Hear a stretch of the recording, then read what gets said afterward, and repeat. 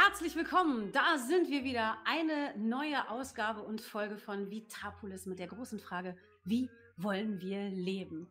Ich freue mich auf das heutige Gespräch, denn auch heute haben wir wieder drei ExpertInnen hier und es geht um große Fragen.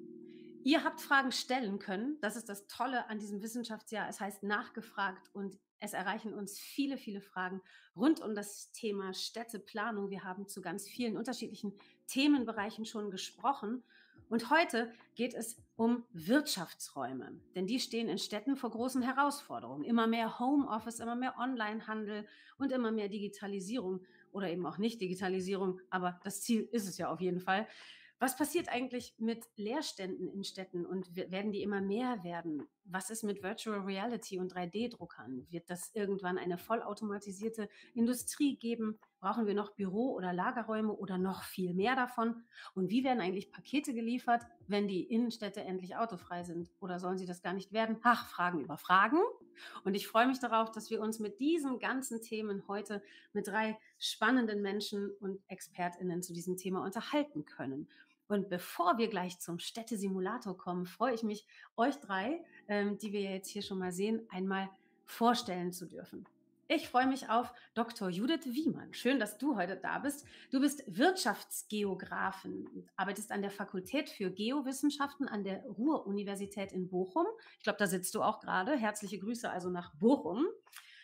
Du bist da Teil der Arbeitsgruppe der Stadt- und Regionalökonomie und hast die Forschungsinteressen momentan insbesondere zur regionalen Transition, zur Nachhaltigkeit, zu Startups und Ökosystemen und Systeminnovation. Ich bin sehr gespannt ähm, und freue mich, dass du da bist. Herzlich willkommen. Dankeschön, Dankeschön. Ich freue mich auch hier zu sein. Ich freue mich weiter auf Professor Dr. Felix Rösel. Herzlich willkommen. Äh, schön, dass du da bist.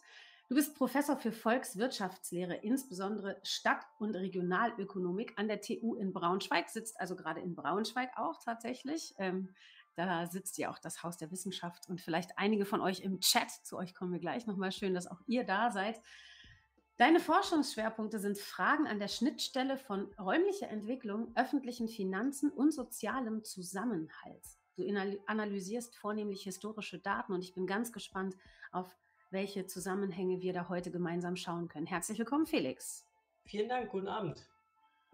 Und dann haben wir Dr. Johannes Bersch. Schön, dass du auch da bist. Du sitzt gerade in Mannheim. Herzliche Grüße gehen raus nach Mannheim. Du bist seit Dezember 2012 wissenschaftlicher Mitarbeiter im CEV. Also man, ich habe gelernt, dass man drei Buchstaben, die zusammenhängen können und gelesen werden können, zusammenhängend lesen möcht, müsste. Oder sagt ihr CEW? Wir sagen ZDW, aber das wäre mal was ganz Neues. Manche sagen Zoo. Das finde ich auch ganz Zoo. Gut. Sehr gut. Also du arbeitest im Zoo, im Forschungsbereich Innovationsökonomik und Unternehmensdynamik. Ähm, du studiertest Volkswirtschaftslehre an den Universitäten Heidelberg und Mannheim und auch in Essex in der UK.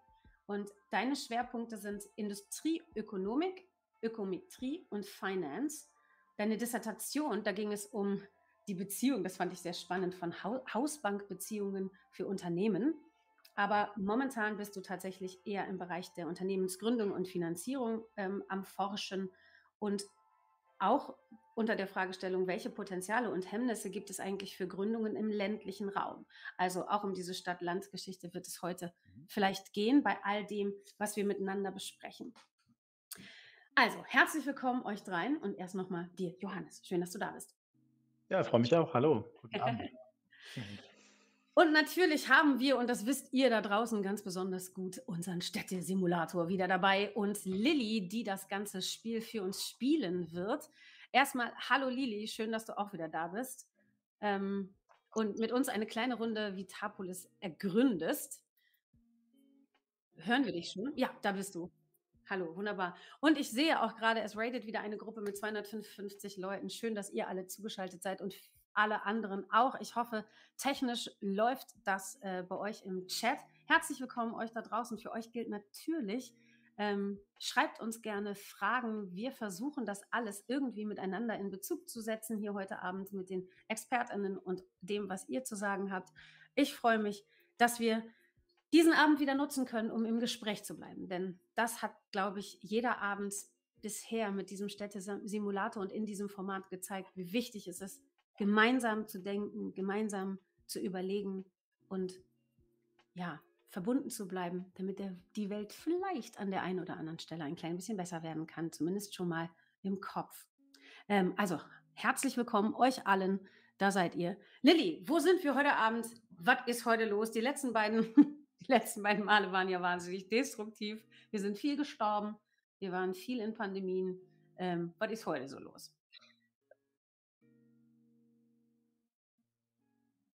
Oh. Genau. Also ich, ich übersetze das mal gerade. Ihr hört Lilly nicht, höre ich gerade. Ähm, äh, das, das ist tatsächlich bedauerlich. Aber ähm, wir hatten ja jetzt schon so viele technische Spannenheiten. Äh, das kriegen wir hin. Ähm, ja, Mingostar äh, 82 hat eine Frage zur Weltformel. Immer her damit. Ich kann alles beantworten. 42 ist die Lösung, das ist ja uns allen klar. Aber wenn du es differenzierter möchtest, dann ähm, hau raus. Ähm, ich freue mich auf alles, was ihr noch so fragt. Ähm, wie wir das jetzt gelöst kriegen, dass wir Lilly hören, hm, weiß ich nicht so genau. Aber ich kann ja übersetzen, Lilly, weil ich kann dich hören. Also ich grüße mal alle von dir und ähm, erzähl doch mal, was in dem Spiel gerade so los ist. Haben wir schon geklärt, Sie können mich hören. Äh, meistens kriege ich es ja doch hin, dass wir Dinge sehr, sehr schnell lösen. Und also jetzt bin jetzt ich schon. auch. Genau, Jetzt schon meine Hochachtung zu dir, Lilly. Wahnsinn. Also ich bin so froh, dass du das alles regelst. genau. Also wir haben ähm, ja sehr, sehr simpel, ähm, kann man ja unterscheiden ähm, zwischen Wohngebieten. Ähm, das sieht man hier farblich immer so abgeteilt. Äh, die Wohngebiete sind immer grün. Ähm, ich habe mir ja mal sagen lassen, in der einzigen Vorlesung, zu der ich in der Volkswirtschaftslehre mal war, dass sowieso alles zusammenhängt in der Wirtschaft, also auch die Wohngebiete gehören dazu. Ähm, dann die Gewerbegebiete. Wir haben mittlerweile auch ein bisschen äh, Bürogebäude. Hier unten glaube ich nicht, sondern hier oben. Ähm, und unsere Industriezweige. Und da gibt es in dem Spiel ähm, einfach so klassisch Industrie. Das sieht man hier. Das sind einfach so Fabriken, die nicht irgendwie benannt sind. Wir haben aber auch, und das ist das Wunderbare an unserer Stadt, eine sehr, sehr gut laufende äh, Landwirtschaft. Äh, unser Umberwäldchen, ähm, das heißt so, weil unsere Zuschauer das mal so entschieden haben. Ähm, also das ist sehr schön, dass unsere Zuschauer entscheiden, wie unsere ähm, Wirtschaftszweige hier auch heißen. Also das ist unsere Landwirtschaft, die läuft sehr gut, die ist auf ähm, Stufe 4. Ähm, die kann also auch deutlich noch erweitert werden. Und wir haben mittlerweile auch, ähm, wir bauen hier Erz ab und das heißt Moria nach dem äh, Herr der Ringe, ähm, nach den Ah, Herr der okay. Ringe Minen. Ähm, also auch ähm, finde ich persönlich sehr, sehr nett. Ähm, genau, das sind so unsere Industriezweige. Wir haben sonst ja noch im Spiel ähm, die Möglichkeit, wir wirtschaften sehr, sehr schlecht. Das liegt hauptsächlich an mir. Ähm, das muss man auch mal einfach so ehrlich Wenn sagen. es doch so leicht wäre, das in der Welt auch so zu sagen. Ja, tut mir leid, Genau. wirtschaftliche Probleme liegt an Lilly, was will man machen? Genau, ich habe ähm, einfach beschlossen, ähm, dass wir ähm, sehr viel Geld ähm, ausgeben für bestimmte Sachen. Ähm, Mhm. Nämlich zum Beispiel für die Gesundheitsversorgung. Das ist, glaube ich, unser ähm, größter, unsere größte Ausgabe. Da haben wir sehr, sehr hohe Ausgaben. Aber das ist ja durchaus nach den letzten beiden Versionen des Spiels angemessen, sich darum zu kümmern. Genau, wir haben natürlich auch, ähm, weil wir ja letztes Mal sehr viele Katastrophen hatten, ähm, das müsste ich gleich nochmal gucken, ob wir den, den noch anhaben, das wäre vielleicht nicht so gut, ähm, sehr viele Ausgaben im Katastrophenschutz, ähm, wir haben sehr viele Ausgaben für Bildung, ähm, sehr viele Ausgaben für Polizei und ähm, auch sehr viel Ausgaben für Müll. Das sind so unsere größten Ausgaben und wir haben in dem Zug deutlich weniger Einnahmen. Ähm, das kann man natürlich alles ändern. Ähm, Das kann Mhm. man dann immer selber entscheiden, wie man das ähm, gerne möchte. Ich habe einfach entschieden, dass wir mehr Ausgaben haben, als wir Einnahmen haben.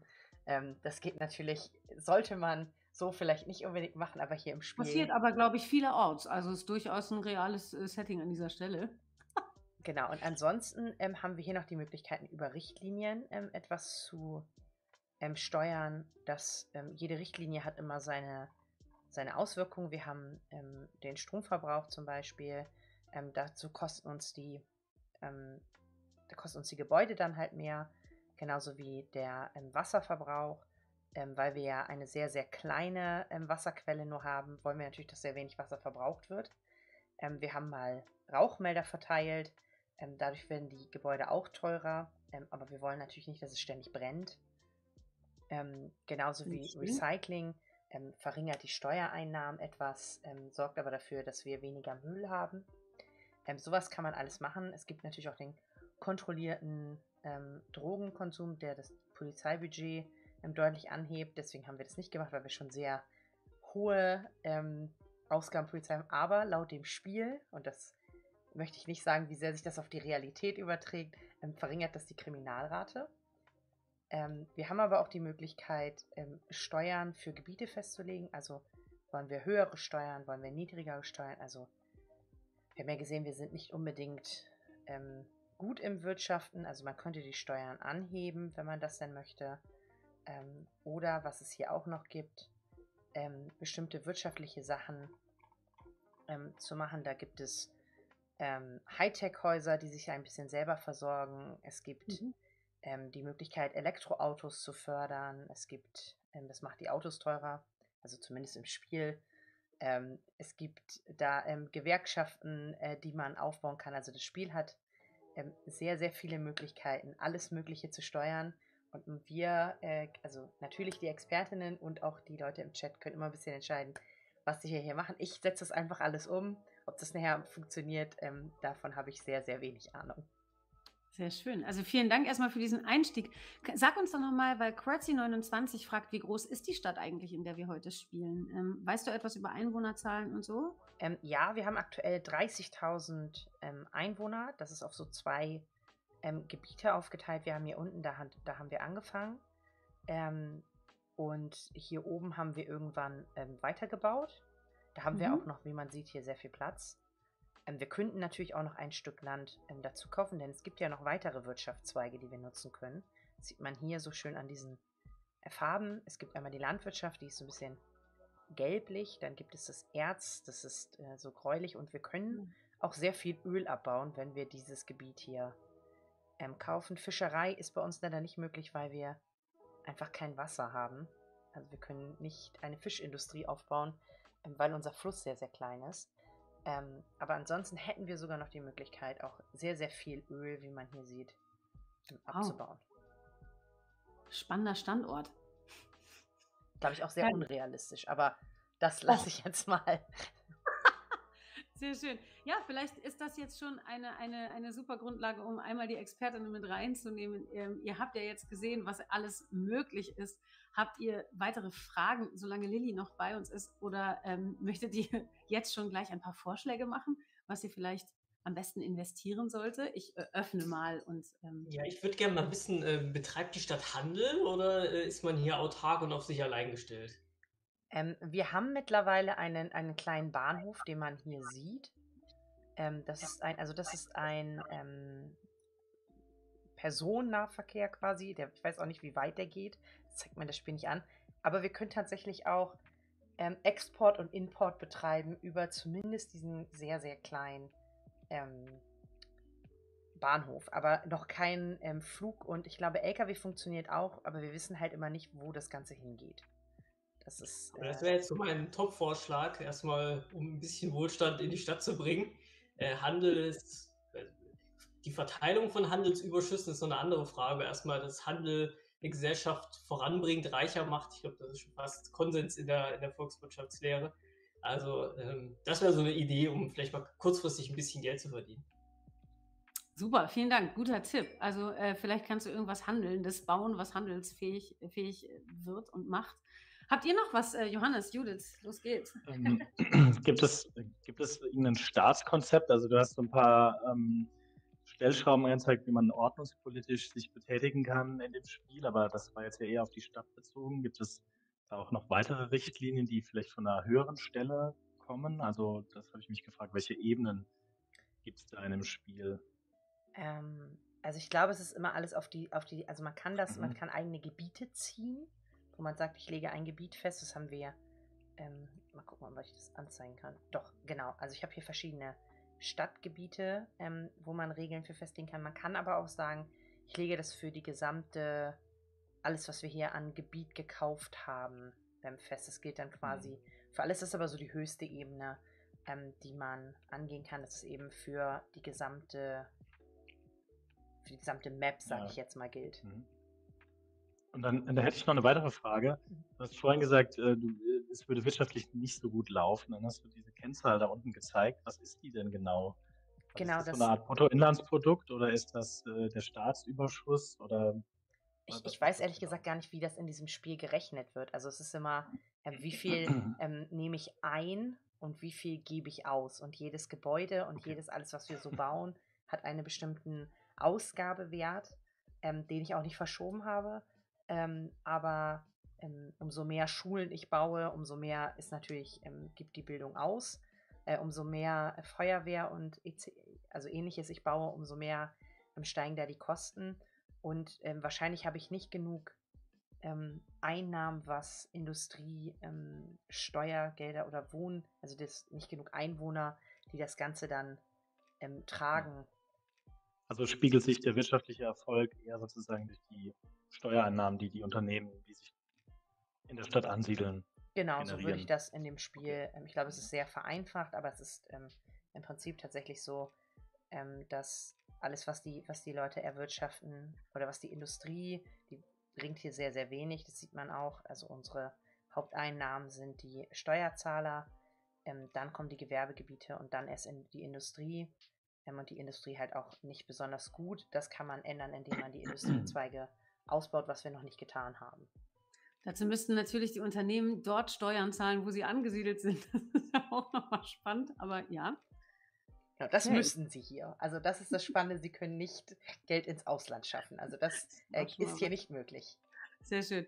Ich lese gerade im Chat von äh, WH Papenburg. Hallo wieder, äh, schön, dass du wieder da bist. Äh, 30.000 EinwohnerInnen entspricht einem Mittelzentrum, Mittelstadt, oder? Ja, ich würde schon sagen. Ich habe gerade versucht, parallel zu ergoogeln, was so eine klassische 30.000 äh, EinwohnerInnenstadt ist. Ich krieg's äh, parallel nicht hin, aber lasst es uns gerne wissen und schreibt es doch äh, in den Chat, wenn ihr das vielleicht rausbekommen habt. Ja, vielen Dank. Ähm, genau, und dann wird noch darauf hingewiesen, Senok äh, 1505 sagt, Hauptsache, ihr baut ein gut durchdachtes Straßennetz. In äh, Real Life sind, glaube ich, viele Städte speziell in der Rush Hour vollkommen falsch geplant.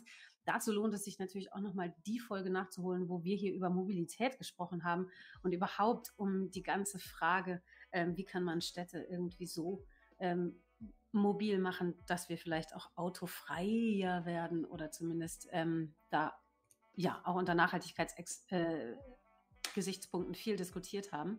Ähm, ja, wunderbar. Vielen Dank. Äh, Lilly, willst du erstmal loslegen mit dem Spiel oder ähm, gibt es von euch ExpertInnen noch etwas, was ihr unbedingt zum Spiel wissen wollt oder womit wir Lilly jetzt auf die Reise schicken, um später nochmal nach ihr zu fragen? Ich habe noch eine Frage und zwar, inwiefern ist denn Bildungsniveau mit Wirtschaft verknüpft? Ähm, Gibt es mhm. da irgendwie im, im, im äh, im Spiel eine Verknüpfung zwischen den Zweien oder ist das losgelöst? Nee, tatsächlich ähm, hat man, wenn man ähm, das Spiel ähm, spielt, oft eine Meldung über den ähm, über die Industrie, die sagt, ähm, dass sie ähm, nicht genug Arbeitskräfte hat, weil wir, weil die, weil das Bildungsniveau zum Beispiel zu hoch ist. also das gibt es. Zu hoch? Teilweise ja. Also die wollen dann, okay. also es gibt immer Unterschiede. Manchmal haben sie nicht genug gebildete Arbeitskräfte und manchmal nicht. Ähm, es gibt ja auch sehr einfache ähm, Tätigkeiten, wo man vielleicht nicht unbedingt, das ist im Spiel natürlich sehr ähm, vereinfacht dargestellt, ähm, wo man vielleicht jemanden haben möchte, der nicht ähm, Abitur hat. Ähm, und da findet man häufig dann nicht genug Arbeitskräfte. Es liegt in der Regel dann daran, dass wir nicht genug Einwohner haben. aber ansonsten ist das so ein bisschen sehr, sehr vereinfacht geknüpft. Man, man, sieht hier, wir haben 39% hochgebildete, 21% gut gebildete, 22% gebildete und 18% ungebildete Menschen. Ähm, und das schon ähm, ein bisschen damit ähm, verknüpft, ähm, wie viele Schulen man baut und wie der Zugang dazu ist. Das sieht man immer. Man sieht hier die Schulen und dann sieht man die grünen Straßen zeigen quasi an, ob die Leute dazu ähm, Zugang haben. Und wenn die Leute keinen Zugang haben, bleiben sie natürlich ungebildet. Okay. Spannend. Ja, ich glaube, Johannes, du meldest, ist das eine Meldung, ne? Genau. Ja, genau. Ähm, ich hätte noch eine Frage. Du hast vorhin ähm, davon gesprochen, dass es Gewerbegebiete gibt und Industrie. Wie, wie funktioniert denn die Ansiedlung? Also ist das deine Entscheidung, was sich wo ansiedelt oder weist man Gewerbegebiete aus und dann siedeln sich Unternehmen aus irgendwelchen marktwirtschaftlichen Gesichtspunkten da an? Also gibt es da so einen, so einen Mechanismus ähm, oder ist das alles sozusagen, wie wir sagen würden, Social Planner-mäßig ähm, kontrolliert vom, von dir? Genau, also ich, ich da muss man sagen, ich habe die Macht, also ich entscheide, wo ich etwas hinhaben will. ähm, in der Regel kann man, kann man wahllos tatsächlich ähm, bauen, wie man möchte. Es ist natürlich eher ähm, klüger zu sagen, ich baue ein Industriegebiet, daneben ein Gewerbegebiet und dann Wohngebiet, weil ähm, das im Spiel ähm, meist mit Lärm verbunden ist. Das sieht man hier. Also gerade die Industrie verursacht sehr viel Lärm, Gewerbe mäßig und ähm, die Wohngebiete gar keinen Lärm, was natürlich auch nicht ganz realistisch ist. Auch Wohngebiete erzeugen Lärm.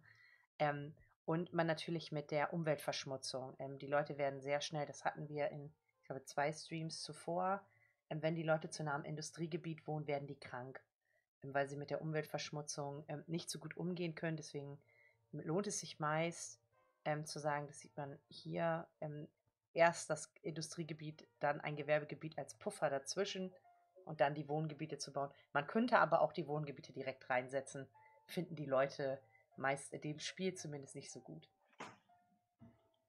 Ja, da geht natürlich ein Aspekt verloren, der, der gerade in der Gründungsforschung ähm, ja, besonders relevant ist. Von, also du sprichst hier viel von so negativen externen Effekten, also Lärm und Umweltverschmutzung. Es gibt ja auch positive externe Effekte, ne, die durch Wissensspillover entstehen. Also wenn zum Beispiel äh, Mitarbeiter in verschiedener äh, Unternehmen zusammentreffen und äh, ihr Wissen austauschen oder in Universitäten sich in der Nähe von, äh, von, von Industriezentren befinden. Also das, das würde mir jetzt persönlich ein bisschen, bisschen fehlen da. Also ich finde das so ein bisschen, das vielleicht ein bisschen zu, ähm, ja, zu, zu stark auf die negativen Aspekte ähm, bedacht. Aber ja. Ich, ich, weiß nicht, ob man die positiven tatsächlich im Spiel ähm, mhm. darstellt. Also es wird schon also wenn ich jetzt ein, ein Industriegebiet hier hinsetzen würde und die Wohngebiete ans andere Ende, dann wären die Leute unzufrieden, weil sie mhm. sehr lange Wege zum Job und ähm, haben. Das ist, glaube ich, das Einzige, was das Spiel abbilden kann. Ich bin aber auch mhm. kein Experte für Spiel. Vielleicht gibt es da noch viel weitere Sachen, die man anzeigen kann. Ähm, ja, aber daran sieht man ja schon, wie, wie komplex das dann doch ist. Also wie viele, wie viele Beziehungen dann doch eine Rolle spielen in der Stadt. Das ist ja genau das eigentlich, was wir, was wir hier gründen wollen, ein Stück weit. Äh, warum, warum Städte äh, da so eine Relevanz haben.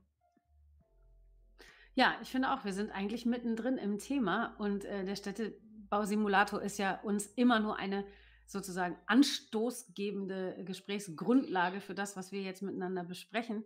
Ähm, vielleicht, vielleicht könnt ihr uns mal mitnehmen, ähm, genau in diese grundsätzlichen Fragen und auch durchaus mit einem positiven Blick, Johannes, ähm, das äh, schadet ja auch nicht. Was genau ist denn, wir fangen mal ganz vorne an, wir wollen eine Stadt gründen, worauf sollten wir achten?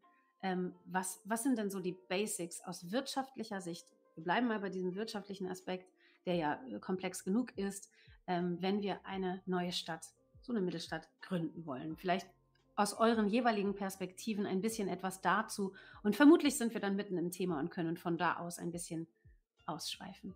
Magst du anfangen, Johannes? Ich kann anfangen, aber ich habe ja jetzt schon recht viel, äh, kann noch weitergeben. Also ich, ich würde sagen, so die absolut basic Voraussetzung für wirtschaftliche Aktivität ist Eigentum. Äh, also das wird eigentlich recht klar so gesehen in der, ich sage jetzt mal in der ähm, neoklassischen Theorie, ähm, dass die Zuweisung von Eigentumsrechten erstmal sozusagen die Grundlage dafür ist, dass wirtschaftliches Handeln in der Form stattfindet. Also dass man zum Beispiel auch ein Unternehmertum ähm, schafft. Ähm, das das wäre auf jeden Fall so eine, so eine Grundlage, aber das äh, ist ja hier sozusagen, könnte hier so gegeben sein. Und genau, ähm, darüber hinaus natürlich Menschen braucht man. das ist äh, natürlich auch wichtig, die arbeiten können, sozusagen, in, äh, um, um wirtschaftliches Handeln zu ermöglichen. Also das erstmal natürlich, muss sich jemand ansiedeln, äh, um gemeinsame wirtschaftliche Interaktionen untereinander zu ermöglichen. Okay. Eigentum wäre dann ja schon eher so die Staats, also dass man ein funktionierendes Staatswesen hat, dass es äh, Ordnungspolitik gibt, dass es Steuereinnahmen, Ausgaben gibt. Ja, sage ich jetzt einfach mal das. Da okay, Dinge. Wir gehen davon aus, es, äh, wir, wir bleiben mal in unserem Kosmos hier. Wir wollen in Deutsch, Deutschland und überlegen da, ne, was ist da jetzt wichtig, was macht Städte attraktiv, wie kriegen wir Menschen in die Städte. Aber ich gebe erstmal ab an, an, an Julian und Felix. Ich lasse dir gerne Vortritt. okay, äh, ähm, ja, ähm, ich finde es gar nicht so einfach, die Frage, weil man ja eigentlich nie äh, in der Realität so ein bisschen einfach eine Stadt mal gründen kann von null. Ne? Und ich muss sagen, da war gerade bei mir so ein, oh, ja, von null. Also irgendwie arbeite ich in meinem Kopf immer mit Städten, die schon existieren und versuche die dann irgendwie in, zu verbessern. Und wenn man jetzt so die, Möglichkeit hat, von null anzufangen, ähm, dann würde ich vor allem äh, schauen, gibt es irgendwie ähm, hm, ja, sagen wir mal, geografische Gegebenheiten, die diese Stadt besonders äh, attraktiv machen könnten am Ende. Also, äh, dass das Klima besonders mild ist, also nicht zu heftig warm, nicht zu kalt. Dann würde ich schauen, also in so einem Universum, wo ähm, wo man sich ansiedeln kann, wo auch immer, dass da genug auf jeden Fall äh, Wasserzugang geliefert ist, ähm, dass all diese grundlegenden Nahrungsmittel ähm, möglich sind, relativ schnell ranzuschaffen. Ähm, und dann natürlich als nächstes ganz klar äh, die, ähm, das Argument von eben von dir ähm, mit, äh, mit dass so, so eine staatliche, ähm, ja, sagen wir mal, Organisation schon mal gegeben ist ähm, in dem Gebiet oder dass, dass, dass man da auf jeden Fall Systeme hat, wie, wie ähm, die staatliche ähm, Hand handeln kann und äh, Infrastruktur bauen kann und so weiter.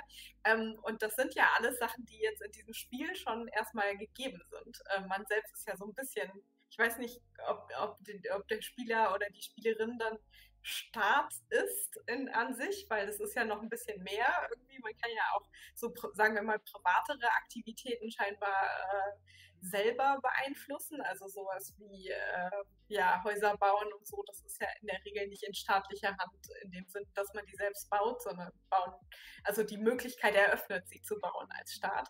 Ähm, genau, das finde ich aber ganz spannend. Ähm, das wären erstmal so die grundlegenden Sachen. Und ähm, dann würde ich wirklich ganz, ganz viele kluge Menschen zusammenholen. Ähm, ganz, ganz, ganz viele kluge Menschen versuchen zusammenzuholen und die darüber nachdenken lassen, wie man so eine Stadt so aufbauen kann, dass die wirklich äh, komplett klimaneutral ist und am besten komplett zirkulär. ähm, äh, sodass äh, alles, was Müll ist, irgendwann wieder verwertet werden kann. Und ich glaube, das wäre dann wirklich am Ende eine Stadt, wie wir sie eigentlich nicht kennen heute. Sehr schön. Das wäre dann schon gleich auch eine nächste Frage gewesen. Aber mach du erstmal eine Runde weiter, Felix. Ja, ähm, also natürlich gab es das in der Vergangenheit, dass man Städte auf dem Reißbrett entworfen hat äh, und geplant hat. Also ich denke da auch zum Beispiel an Ostdeutschland, Eisenhüttenstadt. Ähm, das war so eine Stadt wirklich aus dem Nichts äh, geschaffen. Gibt auch andere Beispiele, vor allem im, im Ostblock. Im Regelfall war das nicht sonderlich erfolgreich. Und warum ist das so? Weil man eben diese vielen Zusammenhänge, die es irgendwie zwischen den einzelnen, ne, zwischen Naturressourcen auf der einen Seite, Handelsstraße auf der anderen Seite, Klima und so weiter, das gar nicht alles richtig bedenken kann. Dann läuft es in einer bestimmten Ecke einfach mal gut. Äh, man braucht viel Industriegebiet, aber man ist plötzlich in so einem Talkessel drin und kann sich gar nicht richtig erweitern also die, wenn man die Frage sich stellt, wo finden wir denn Städte irgendwo auf der Welt heute, dann ist die beste Erklärung, naja, da wo es auch gestern schon Städte gab. Ja, es hat sich also irgendwie ne, dynamisch entwickelt. Und ähm, man kann aber mal aus dem, vom Satellitenbild draufschauen, von den Nachtlichtdaten. Ähm, und ganz interessant ist, dass man vor allem entlang den Küsten, wenn man jetzt Deutschland mal verlässt, aber äh, vor allem entlang der Küsten ähm, viele, viele Städte sieht in der Welt. Also Zugang zu Meer, Zugang zu Handelswegen, das war schon immer ein ganz, ganz wichtiger Faktor, wo sich Städte gebildet haben. Da war das so ein Kristallisationskern. Das erste Dorf entsteht, die erste Familie kommt, äh, die muss quasi selber irgendwie den, den, den Boden bestellen, die muss selber den, ein Schmied sein, die muss selber Landwirtschaft betreiben, alles zusammen. Ähm, und das ist natürlich sehr aufwendig und äh, kann man auch nicht sehr gut. Da kommt die zweite Familie dazu, und die äh, spezialisiert sich halt eher auf Landwirtschaft und die andere Familie auf äh, Schmiede, Schmiedekunst zum Beispiel. Und, und dann entstehen Vorteile, weil jeder kann sich auf das spezialisieren, was er besonders gut kann und aus aus so einem Anfangspunkt entstehen, entstehen dann Städte. Und ganz interessant ist aber wirklich die Rolle von Naturressourcen. Deswegen überrascht mich, dass das Erdöl hier noch nicht angepackt wurde. Also wir wissen, dass global so etwa grob die Hälfte aller Wohlstandsunterschiede auf der Welt ähm, von Naturressourcen erklärt werden. Das ist schon also ein beträchtlicher ähm, Teil.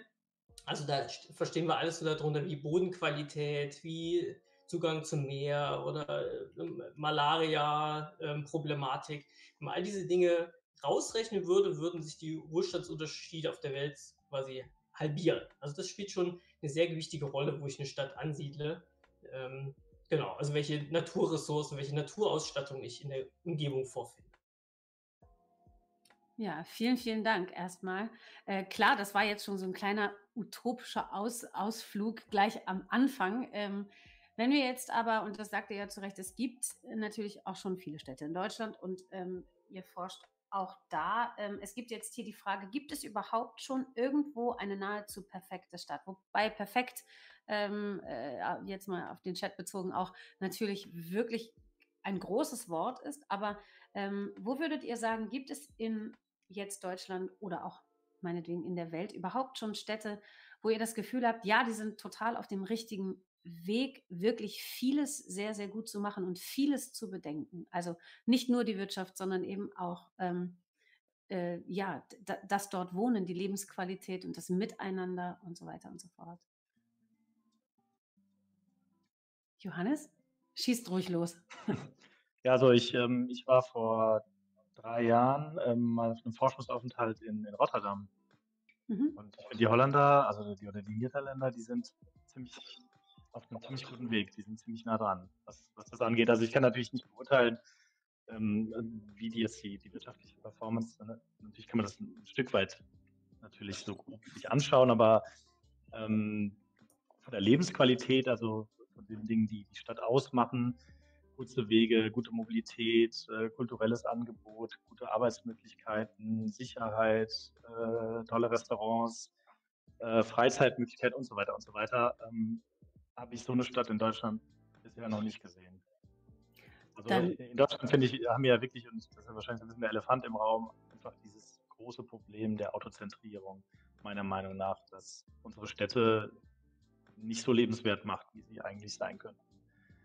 Aber das ist ja nicht das Thema von heute, aber ja, also naja, gut, aber habe ich das Gefühl, ähm, war das äh, auch deshalb wirklich ein, ähm, ein sehr angenehmes äh, Leben dort. Ja, also in Mannheim könnte man, kann man sich so nicht fortbewegen zum Beispiel in der Stadt. Und äh, das macht dann viele andere Dinge äh, auch nicht so angenehm. Gerade mit Kindern zum Beispiel. Ich habe zwei Kinder, äh, sich durch die Stadt zu bewegen, ähm, ist nicht so leicht äh, in Deutschland oft. Es ist doch immer gut, in der ersten halben Stunde schon über den Elefanten gesprochen zu haben. Von daher können wir doch ruhig einmal benennen. Äh, wir haben ja, klang ja auch schon ein paar Mal an, die Autozentrierung der Städte. Und wenn du es jetzt benennst als tatsächlich für die Lebenswertfühlbarkeit, also die Lebensqualität in Städten, wenn du es da sofort anbringst als vielleicht auch größten Unterschied zwischen Rotterdam und dem, was du hier erlebst, dann ist es ja tatsächlich auch ein nicht zu unterschätzender Faktor, ähm, der auch im Netz hier ähm, besprochen wird. Jetzt willkommen. Wenn ich auf meinem Bobbycar unterwegs bin, ist das alles kein Problem, sagt Mingus, Jahr 82. Das freut uns natürlich. Also die Lösung der Zukunft liegt in den Bobbycars. Vielen Dank an dieser Stelle für diese schöne Gespräch. Sehr schön. Ja, okay, vielen Dank. Also Rotterdam. Wenn, ähm, gibt es noch mhm. mehr Punkte, wo du ähm, das Gefühl hattest, oder, oder kannst du uns noch genauer beschreiben, was dich dort fasziniert hat und was du hier nicht findest? Ja, wie gesagt, also einfach ein, ein, Gefühl der, der Freiheit, dadurch, dass man ähm, sich nicht so einge, eingeengt fühlt und auch ein Gefühl der Vielfalt. Ich glaube, in Deutschland hat man auch durch diese Strukturen, die auch wiederum durch diese Autozentrierung kamen, die geschaffen wurden, Stadt ist in der Mitte, Leute fahren von außen mit dem Auto rein, parken das Auto in der Stadt, gehen maximal zehn Minuten zu Fuß und bewegen sich dann aber nicht zu weit von ihrem Auto weg. Während man, äh, das ist mir in Rotterdam ganz äh, extrem aufgefallen, Aktivität und kulturelle Aktivität, wirtschaftliche Aktivität über die gesamte Stadt ausgebreitet gesehen hat, weil die Mobilität einfach allumfassender ist. Sie ist nicht so zentriert immer in, den, in die Mitte hinein, sondern es findet eben mehr auch in den, in den Stadtteilen statt. Das war, das war so ein Gefühl. Ich bin wirklich kein Stadtforscher oder kein, kein Raumforscher, aber das, das was, was ich persönlich, was mir dort aufgefallen ist, wenn ich jetzt hier in meinem äh, Mannheimer Stadtviertel, in dem ich wohne, in der Neckarstadt, da ist nicht so viel. Also da gibt es natürlich einen Supermarkt und zwei, drei Restaurants, die in Ordnung sind, aber tagsüber sind dort keine Menschen. Die, die mhm. arbeiten nicht, sondern die fahren dann irgendwo hin. In der Regel sogar mit dem Auto ähm, zu einem großen Teil. Und das ähm, nimmt der Stadt ja auch ein Stück weit das Leben, wenn man so will, ähm, während dieser Kernarbeitszeiten, die ja doch trotz Corona und äh, mehr Homeoffice ähm, sich be behauptet haben. Ja. Muss man ja auch dazu sagen. Ich will jetzt nicht zu weit ausholen, ich, könnte, ich kann da bestimmt, äh, könnte da noch weiter. Nee, Aber das war so ein Gefühl von mir. Also besser kann ich es, glaube ich, zu, zum jetzigen Zeitpunkt nicht, nicht beschreiben. Ja. Nee, vielen Dank. Ich finde es auf jeden Fall auch spannend, ähm, dass du ähm, nach bei dieser persönlichen Frage sofort auch auf Gefühl, äh, gef gefühlte mhm. ähm, Qualität gehst, ja. Und das Wort Freiheit, ähm, vielleicht können wir das uns auch aufbewahren für später nochmal und da nochmal hindenken. Ich gebe jetzt erstmal ab an Judith, ähm, wenn ich darf, und ähm, wir gucken uns an, was du zu sagen hast und verbinden später. Oh, ich bin gerade ganz, oh, Hilfe, äh, wir sind gerade dabei, das Öl zu erschließen und was das wahrscheinlich bedeutet.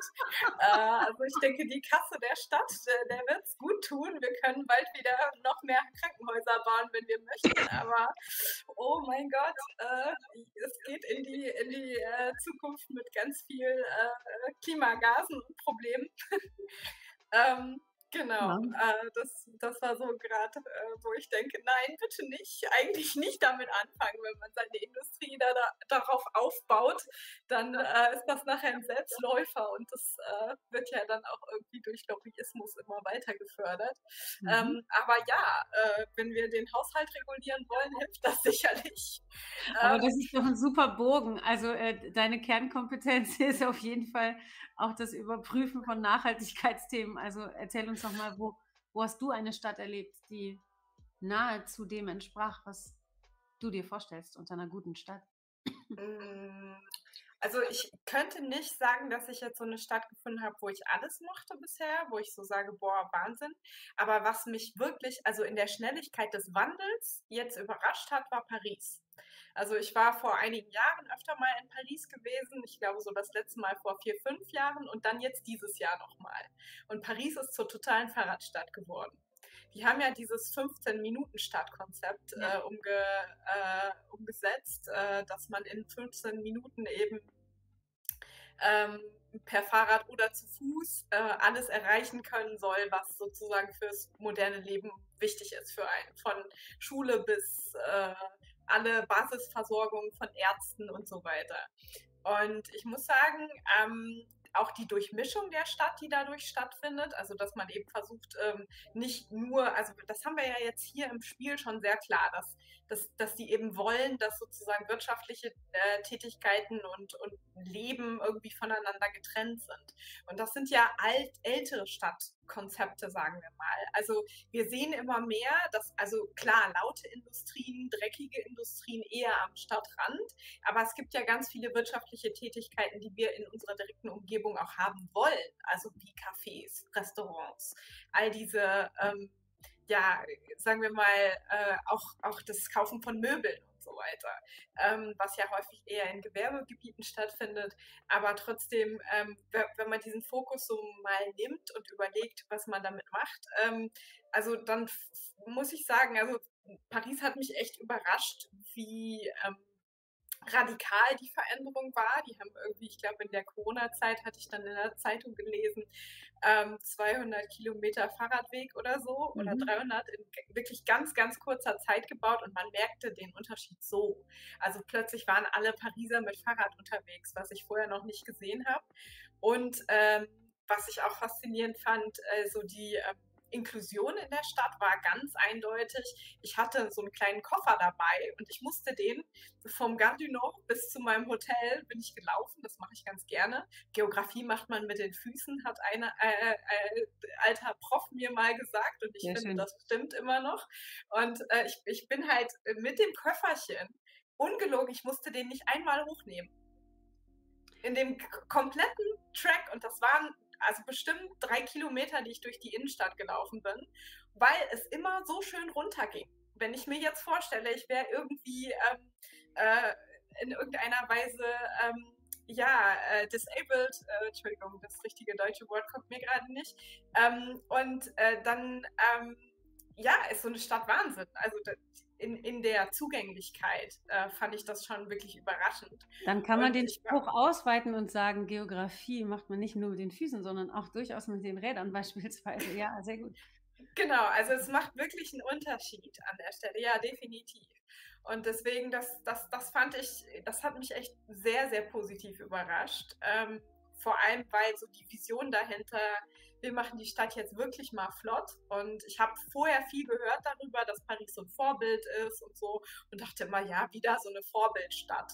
Aber ähm, genau, also die Schnelligkeit, mit der die das einfach mal umgesetzt haben und so diese Pandemie einfach genutzt haben, um das noch schneller zu machen, was sie vorhatten, äh, muss ich sagen, mein Respekt. Äh, als Konzept, äh, glaube ich, funktioniert das und die Stadt hat ja auch ein sehr großes, also so Leben zumindest. Ich glaube, ähm, es ist nicht direkt ähm, alles einschließend, weil ich war jetzt, ich rede von der Innenstadt, ne? die Stadt ist viel, viel größer ähm, und sicherlich war ich da nur in diesen Bereichen, wo man eben ähm, genauso viel investiert hat. Das muss man eben auch ein bisschen äh, an der Stelle mit einsehen. Aber genau, das war auf jeden Fall mein, mein städtisches Highlight in letzter Zeit.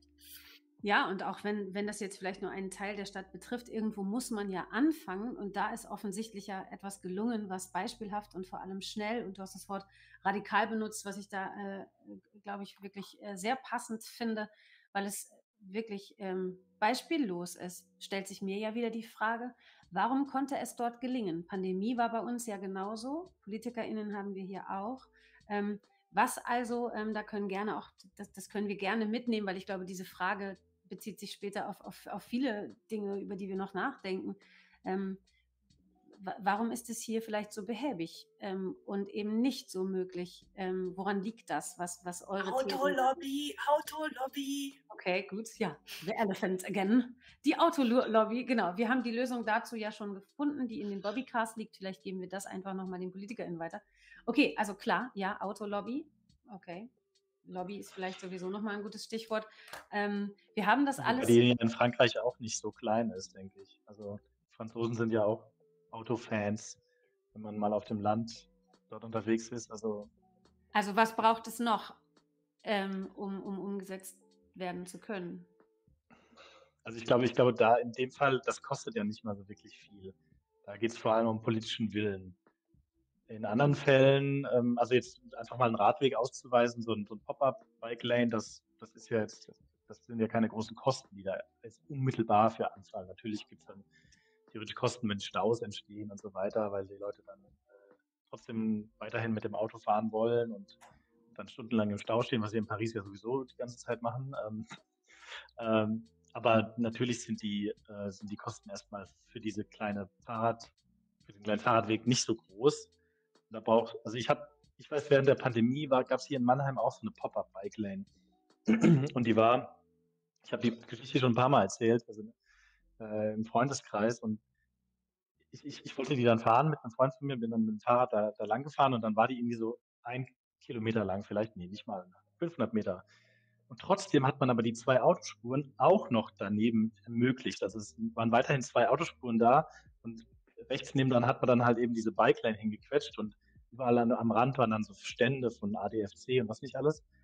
Und dann, also als man diese 500 Meter aber durchquert hatte, endete diese Pop-up-Bike-Lane auf einer dreispurigen Straße. Und man wurde so mitten in diese dreispurige Straße hineingespült. Und ich fuhr dann da so lang und äh, als ich damit fertig war, dachte ich so, echt jetzt, das ist alles, was wir an Veränderungen hinkriegen? Also ich fand es richtig peinlich in dem Moment, weil ich dachte, es kann doch nicht euer Ernst sein, dass das als Veränderung gefeiert wird. Und deswegen finde ich es so gut, was du gesagt hast, bitte. Einfach, das einfach mal auszuprobieren. Also und ich, ich will jetzt auch nicht nur gegen die Autos bashen oder so. Ich werde selber in Zukunft auch eins häufiger brauchen, weil ich aufs Land ziehe. Ähm, aber es geht doch darum, in der Stadt zu leben. Es, es, es, geht doch darum, eine, eine, vernünftige Art und Weise der, der Mobilität zu finden. Und es geht auch darum, generell Veränderungsbereitschaft zu zeigen. Und ich glaube, das werden wir als Gesellschaft generell noch viel mehr machen müssen die nächsten äh, fünf bis zehn Jahre, als das bis jetzt der Fall ist. Und das aber, dieses konkrete Negativbeispiel, was ich jetzt hier gerade äh, genannt habe, dass, also wenn es dabei bleibt, dann, dann werden wir die nicht schaffen. Wenn wir, mhm. wenn wir nur so, so Hölzchen und Stöckchen mäßig äh, uns fort, äh, vorantasten. Ich habe das große Stichwort politischer Wille hier mal stehen und würde da gerne nachher nochmal drauf zurückkommen. Jetzt aber erstmal Felix noch mit ins Boot holen, weil wir über seine Utopie oder seine favorisierte Stadt noch nicht so viel gehört haben. Also bitte erstmal du und dann machen wir weiter. Ja, also ich probiere jetzt meine Politikerantwort. Ich komme sofort gerne auf diese Frage zurück. ähm, würde aber gerne noch mal was zu Holland sagen, ähm, weil wir ja gerade ja. hier die, die, wieder auf dem Ölfeld sind äh, gibt es ein interessantes Phänomen, das ist nach Holland benannt, nämlich die sogenannte holländische Krankheit. Und die, die sagt uns, äh, dass das mit dem Ressourcenreichtum vielleicht gar nicht so gut ist. Also nicht nur klimaschädlich mit dem Öl, sondern in Holland war das so, nach den Gasfunden in Holland ähm, quoll also das Staatsbudget über, der Staat konnte die Löhne massiv erhöhen ähm, äh, und äh, auch andere Industrien äh, ja, ähm, waren plötzlich im, im, Hintertreffen, weil alle brauchten holländische Gulden, um, um dieses Gas zu kaufen. Und quasi die über Nacht war die Wettbewerbsfähigkeit der holländischen äh, Industrie dahin. Ähm, also dieser äh, Segen des, des Gases drehte sich dann um. 20 Jahre später war die Industrie kaputt in Holland. Das ist das, was wir holländische Krankheiten nennen. Deswegen sollte man aufpassen. Äh, also, äh, liebe Lilly, wenn du da fleißig weiterbaust, mach nicht zu viel. Äh, nicht zu viel Ressourcen exportieren. Das äh, kann mal schnell nach hinten losgehen. Ähm, aber das ist ein ganz anderer Punkt. Ja, ähm, utopische Städte, ich weiß nicht, ich tue mich schwer mit sowas. Und das mit dem Fahrrad, das ist auch alles schön und gut. Ähm, aber das sind kleine Wohlfühlthemen, die mal ganz interessant sind. Ähm, aber ich glaube, die große, äh, die große Frage ist, ist wirklich, können solche Städte wie, wie Rotterdam wirklich leben und überleben, ohne nicht irgendwo anders auf der Welt einen riesengroßen Fußabdruck zu hinterlassen? Und ähm, das ist mir immer so ein bisschen, man ist da und alles grün und alles hip und alles schön. Und, und irgendwo in China werden da die Pappbecher hergestellt, die, äh, die dann dort ausgeteilt werden, damit ich da meine Chai Latte trinken kann. Also auf dem, auf dem Land ist es manchmal ein bisschen, bisschen ehrlicher, ja. Dann, dann sieht man halt gleich die Konsequenzen seines, seines Handels und lebt nicht in so einer, ein bisschen wie in so einer kleinen Dunstglocke. Ähm, also wir haben halt viele mit, kleine Mittelstädte in Deutschland. Deutschland ist von der Stadtstruktur her ganz anders als Holland. Nicht so nicht so dicht besiedelt in manchen Regionen wie, wie, wie Holland. Und äh, auch von der Industrie, die wir aufgestellt haben, ja, die, die Bergbaustädte, die früher eben die, die reichen Städte waren, sowas gab es dort halt auch nicht. Also man muss immer ein bisschen, ein bisschen vorsichtig sein. Kriege ich, äh, ist das nur eine Fassade und irgendwo äh, 1000 Kilometer weiter äh, in einem anderen Land äh, entsteht wirklich die, die Folgen ähm, meines Handelns oder ähm, ja, oder, oder, oder habe ich die live vor Ort?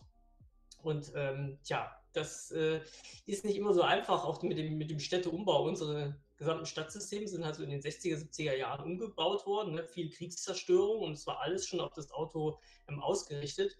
Jetzt mal eben, ich meine, ist immer gleich zu sagen, ja, wir müssen alle dann irgendwie äh, ja, die Konsequenzen tragen, aber wer will denn gerne eine halbe Stunde länger pendeln, weil er mit dem Bus unterwegs ist oder mit dem Auto?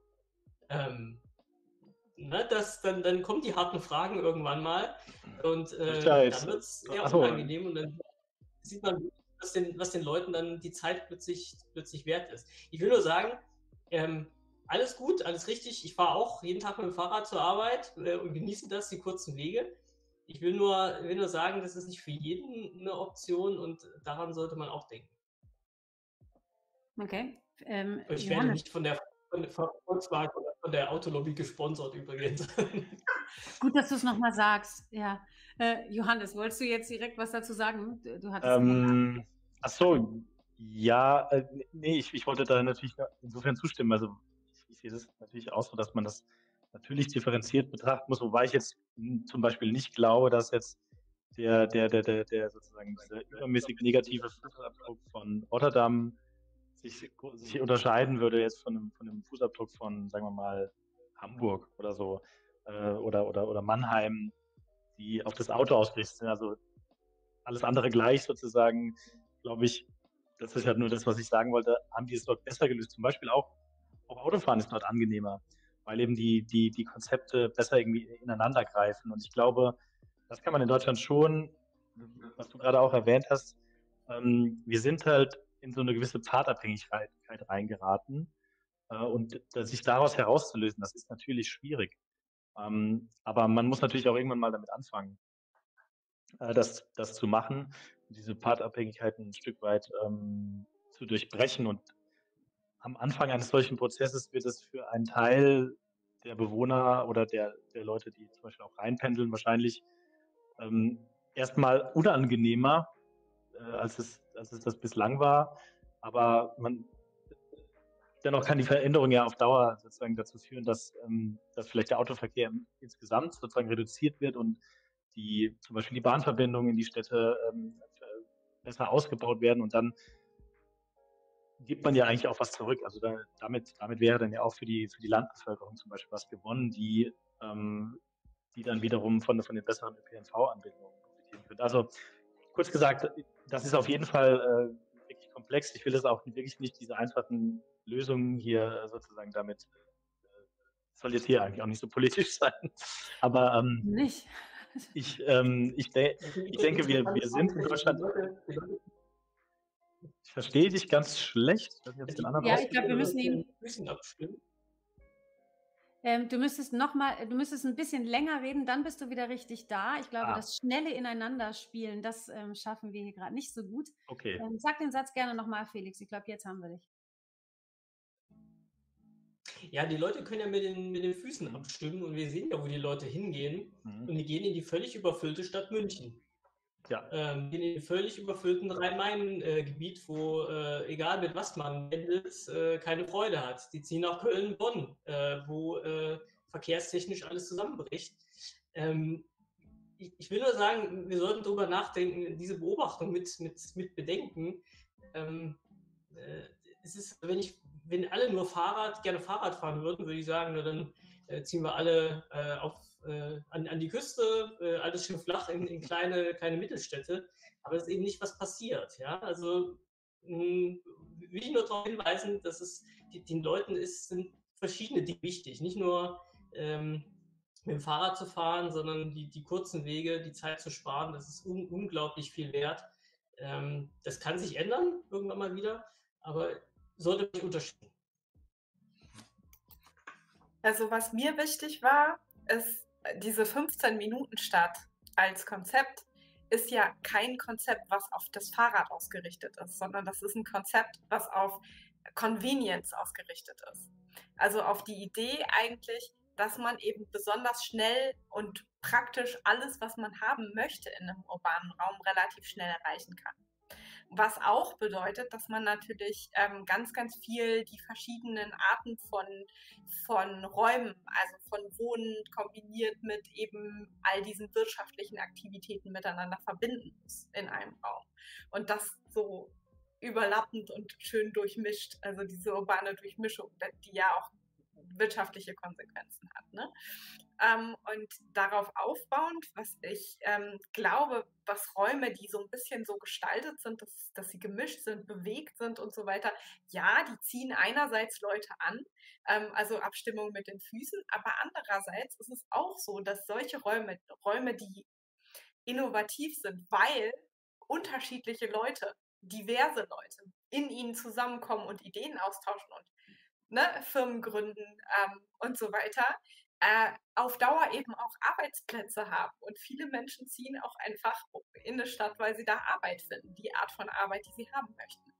Und ähm, dementsprechend ist das so ein bisschen, ist Lebensqualität natürlich nicht alles, sondern, also es gibt ja diese ähm, äh, relativ bekannte äh, Perspektive von ähm, Florida, der ähm, ich glaube, so um 2001 herum die These entwickelt hat, dass man nur eine besonders coole Stadt haben muss, dann kriegt man Wirtschaftswachstum. Also sehr, sehr platt gesagt. Das ist viel komplexer, als, er das, äh, als ich das jetzt darstelle. Aber ich reduziere es mal so richtig, richtig runter. Also so eine coole Stadt, die so ein bisschen hip ist, wo man verschiedene Leute miteinander mixt und die kriegen das dann schon als sozusagen Zusammenkommen der kreativen Klasse an einem Ort. Wenn man davon mehr hat als im Rest des Landes, dann kriegt man halt Wirtschaftswachstum. So, aber es kann halt auch umgekehrt sein. Also die Kausalität ist eigentlich nicht klar. Er hat das relativ so dargestellt und dann hat er Stadt, Stadtplanern gesagt, ja, sie müssen irgendwie Kulturprogramme schaffen und dann kommt die Wirtschaft. Ähm, also so ein bisschen übertrieben. Klar, ich übertreibe das jetzt, aber es kann halt auch andersrum sein, dass eben Menschen ähm, äh, nicht in die Stadt kommen, weil sie cool sind, sondern weil da schon Arbeit ist und diese Menschen, die dann kommen, sind halt cool und bilden einen coolen urbanen Raum. So, und deswegen würde ich eher sagen, dass das irgendwie miteinander verbunden ist und dass deswegen bestimmte Städte sozusagen attraktiver werden auf Dauer, wirtschaftlich und für das die Lebensqualität, weil für so eine Lebensqualität braucht man natürlich auch ein gewisses Einkommen von vielen Leuten, die irgendwie zusammenkommen, die dann äh, dafür sorgen, dass die Landschaft an Restaurants besonders attraktiv ist und, und so weiter. Ähm, da kommen natürlich auch städteplanerische Sachen rein und Verkehr und so weiter, aber das, das ist doch auch irgendwie so ein Hin und Her. Und deswegen hatte ich vorhin, äh, als wir die Einführung gehabt haben, so ein bisschen gefragt, wie sieht das denn mit dem Bildungsniveau aus? Wenn wir das hochsetzen, wenn das jetzt im Spiel so funktionieren würde wie bei äh, Florida, dann äh, haben wir plötzlich einen riesen Wirtschaftsschub. Ähm, aber das ist ja auch gar nicht so einfach. Also äh, hier im Spiel ist das ja ein bisschen, äh, bisschen komplexer auf jeden Fall gedacht an der Stelle. Genau. Ähm, also wie gesagt, es ist nicht ein rein Verkehrsding, sondern 15 Minuten Stadt als Durchmischung und cool machen von so einem urbanen Raum, sodass da Menschen leben wollen und gleichzeitig sich neue äh, Innovationen ansiedeln durch diese Art der Struktur.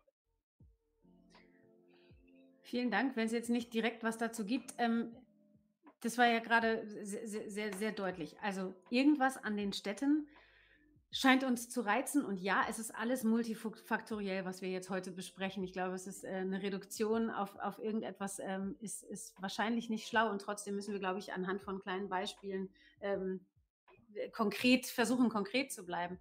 Aber ähm, Felix, bei dir ist es ja so, dass du ähm, viel forschst, ähm, auch zum Thema Land Stadtunterschied. Und die Menschen, die hier öfter zuschauen, wissen, ich komme ursprünglich aus Ostfriesland.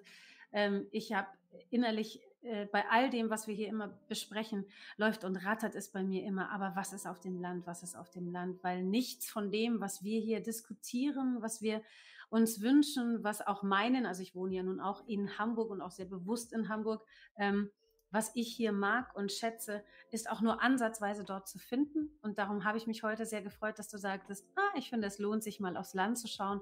Da gibt es durchaus auch Vorteile und auch Standortvorteile oder Entwicklungspotenzial, von dem wir hier vielleicht gar nicht noch, noch gar nicht so viel wissen. Kann, nimm, nimm uns gerne mal mit in all das, woran du dort forschst. Oje, wo fange ich da an? Ja, aber ähm, klar, also es ist andere Zeiten auch.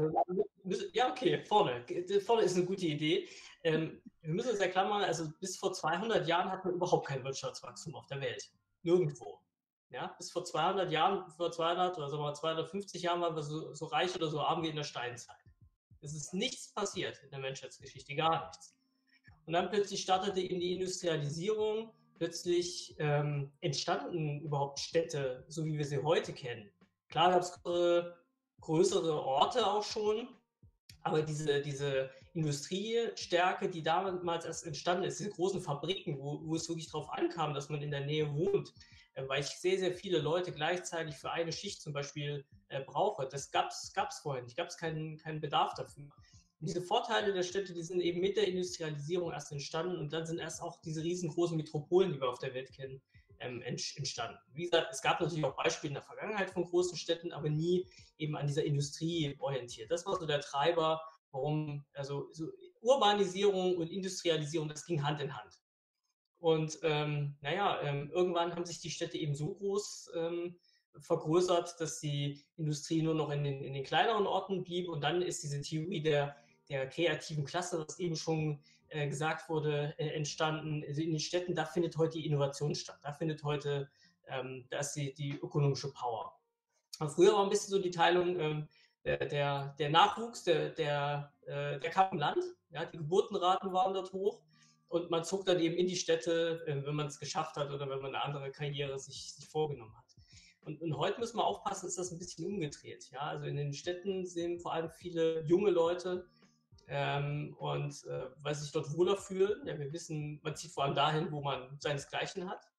Und junge Leute treffen junge Leute vor allem in den Städten. Und auf dem Land ist immer so ein bisschen in eine Abwärtsspirale gegangen von, von Überalterung heutzutage. Und äh, die, welcher junge Mensch zieht aufs Land äh, und äh, äh, fühlt sich dort wirklich wohl, wenn er der Einzige ist im Ort unter 40 ähm, kann man verstehen, dass man sich da nicht so super wohl fühlt. Ähm, und deswegen, also eine, eine Idee wäre zum Beispiel den ländlichen Raum wiederzubeleben, ist eben nicht nur versuchen, einzelne Familien zu holen, sondern wirklich mal so, ein, so eine Gruppe von, von, von Leuten zu gewinnen. Ähm, und auch ländlichen Raum natürlich als wirklich als Land zu verstehen, nicht so als Vorort. Also schlimm finde ich diese zerstörten äh, Stadtränder. Ähm, das ist äh, weder Fisch noch Fleisch, das ist keine Stadt ähm, weil dort gibt es nicht die Vorteile der Stadt, dort gibt es keine Industrie, keine Jobs oder sowas. Es ist aber auch nicht, nicht das Land, dort gibt es keinen Zusammenhalt, dort gibt es nicht diese klassischen Dorf, mhm. gewachsene Dorfgemeinschaft, eine alte Dorfkirche oder sowas. Es gibt keine gemeinsamen Plätze.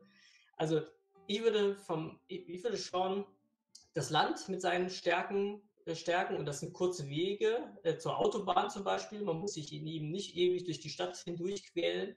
Ähm, man hat also Standortvorteile auf dem, auf dem Land aber auch die Stadt stärken in ihren Vorteilen. Also gerade äh, auch dort wieder die kurzen Wege, nämlich äh, innerhalb der Stadt.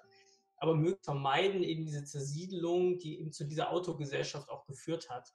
Ähm, die Leute stimmen auch ab dann mit den Füßen. Wenn ich einmal im Auto sitze, fahre ich eben auch auf die grüne Wiese zum, äh, zum Einkaufen und gehe nicht in den Dorfladen. Ähm, na, und, so, und, so, und, so, hat diese, sagen wir mal, Zersiedelung sowohl von Land als auch von Stadt in diese Speckgürtel hinein, hat vielleicht ein bisschen dazu beigetragen, dass wir in dieser Autosituation sind, die eben, eben schon beschrieben wurde.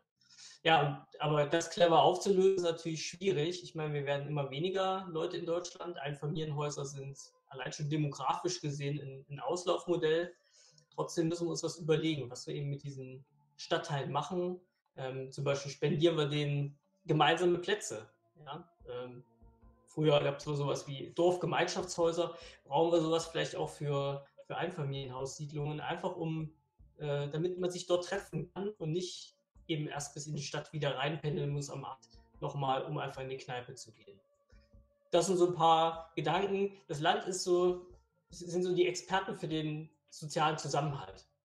Und ähm, das muss man, kann man nutzen, das sollte man nutzen. Ähm, das ist der große Unterschied vielleicht auch zur Stadt. Du hattest gerade gesagt, ähm, man muss vielleicht einfach so Gruppen von Menschen wieder in die ähm, ländlichen Gebiete bringen, ähm, weil natürlich gebe ich dir recht, der soziale Zusammenhalt ist ähm, unvergleichlich zu dem, was ich hier erlebe.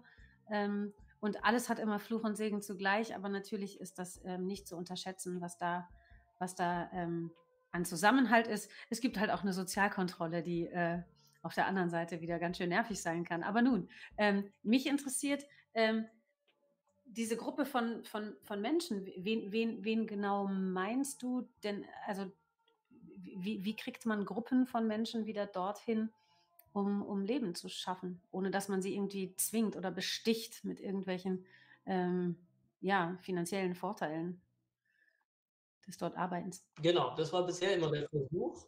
Ähm, so einzelne Stipendien für Ärzte, äh, das war ja mal so ein Versuch, Landärzte zu gewinnen durch Stipendien da, ja, wir versuchen ständig äh, einzelne Leute zu holen, aber wir müssen ja verstehen, warum, warum bleiben wir vielleicht als äh, studierte Menschen in den Städten kleben, da weil da unser Netzwerk ist, weil da unser Freund, Freundeskreis ist.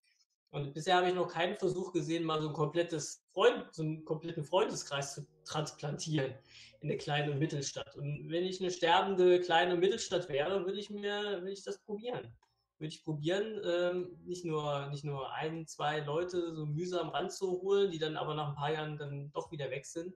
So nachhaltig wäre wirklich mit so einem, so, so, so einem Schwung von, von Leuten. Ja? Man kann einen Wettbewerb machen, bewerbt, bewerbt euch drauf und je mehr ihr seid, umso höher ist eure Chance, dass ihr, äh, dass ihr am Ende zu äh, den Zustand bekommt für, keine Ahnung, äh, um hier in Hoyerswerda in, in diese verlassene, verlassene sowieso, aber hochgemotzte ähm, Siedlung einzuziehen. Also ich glaube, dann funktioniert es, wenn man unter seinesgleichen ist, dann, dann, dann ist der Ort am Ende fast egal, wo man ist und ähm, fühlt, kann sich wohlfühlen. Und ähm, das ist ein Versuch wert, würde ich mal sagen. Und sowas habe ich bisher aber leider noch nicht gesehen.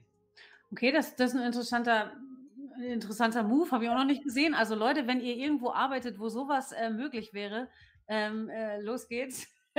schreibt uns gerne an oder schreibt das in den Chat. Ähm, das klingt doch spannend. Ich, ich, ich nerv jetzt noch mal so ein bisschen, weil ähm, so kleine Städte, okay, und ähm, Gruppen, die dorthin ziehen, ähm, weil sie dann irgendwie vielleicht etwas geschenkt bekommen wie einen coolen Komplex oder ähm, sonst was zum Ausbauen oder zum, zum Hochziehen.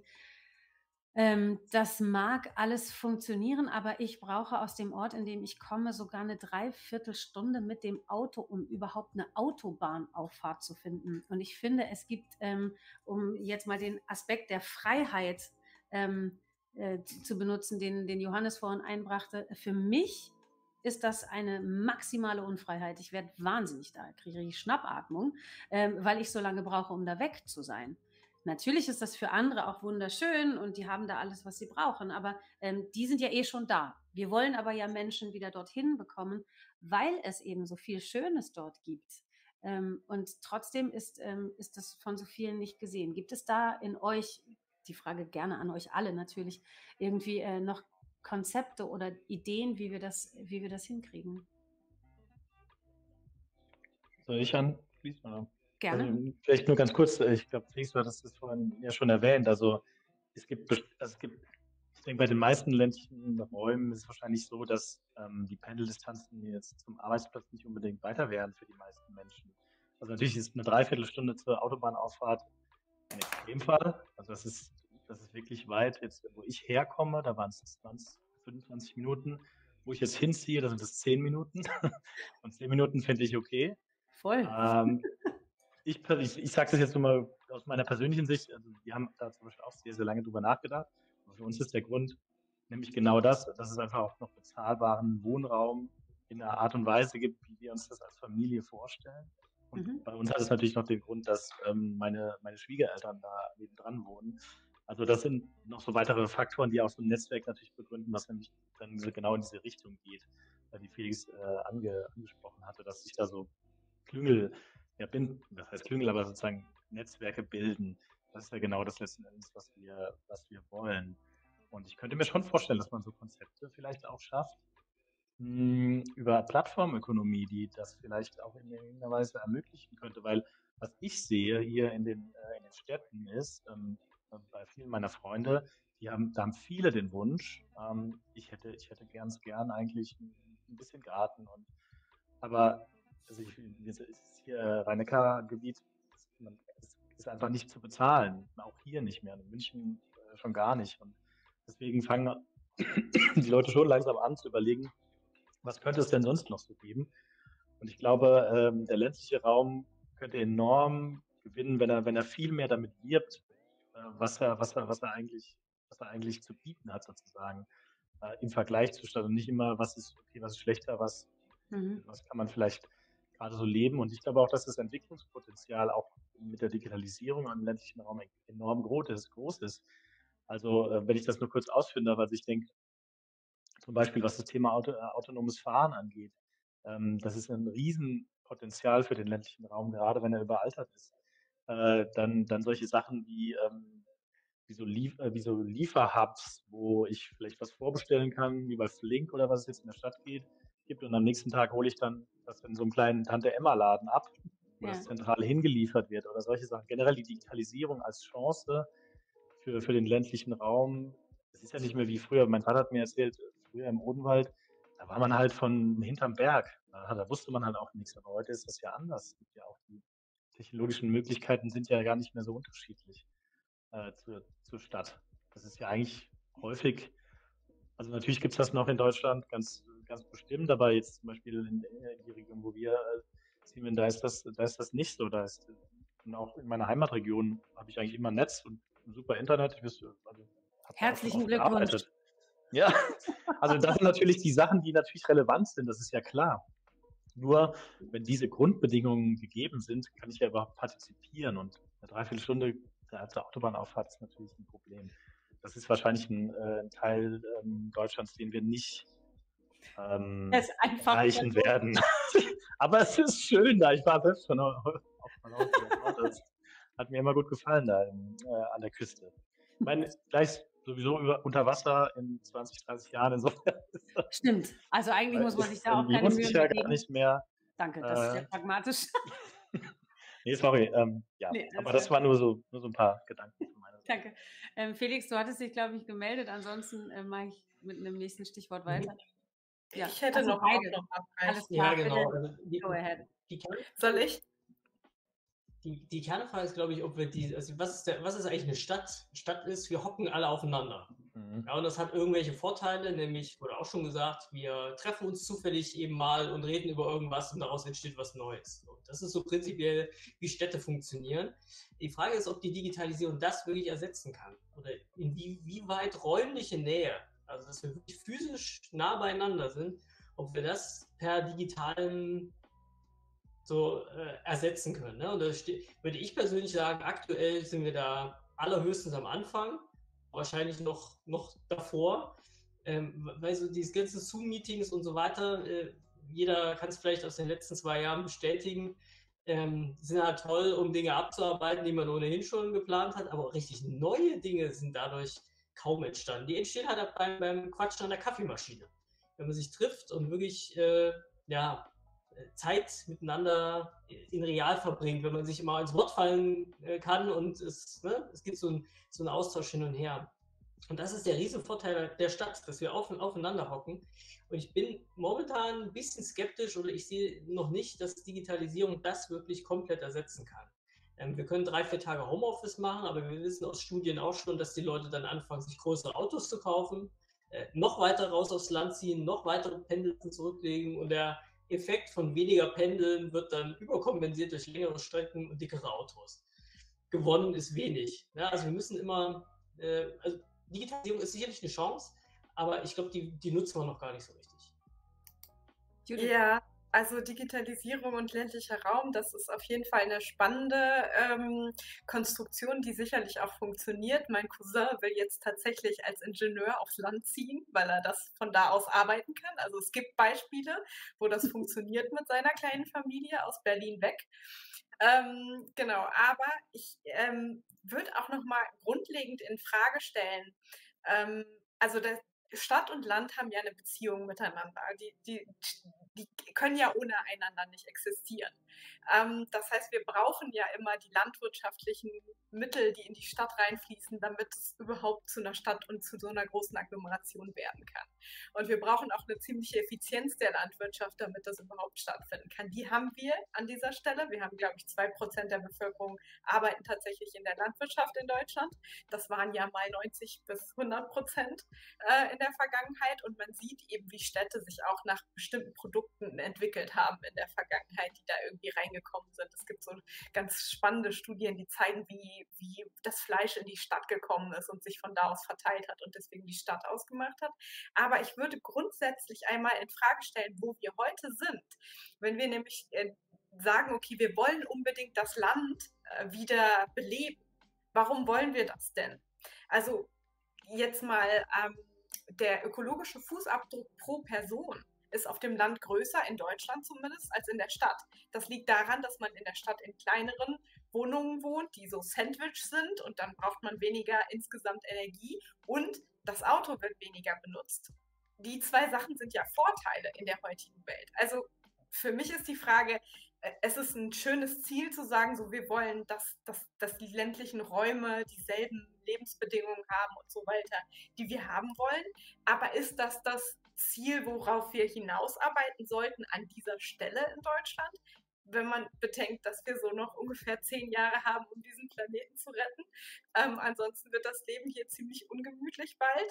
Ähm, das, das ist für mich durchaus eine Frage. Ähm, ist das wirklich das Ziel, wo man hingehen sollte. Und ähm, insbesondere, wenn, wenn äh, Städte vielleicht eben ein sozusagen ökologisch effizienter machen im weiteren Sinne.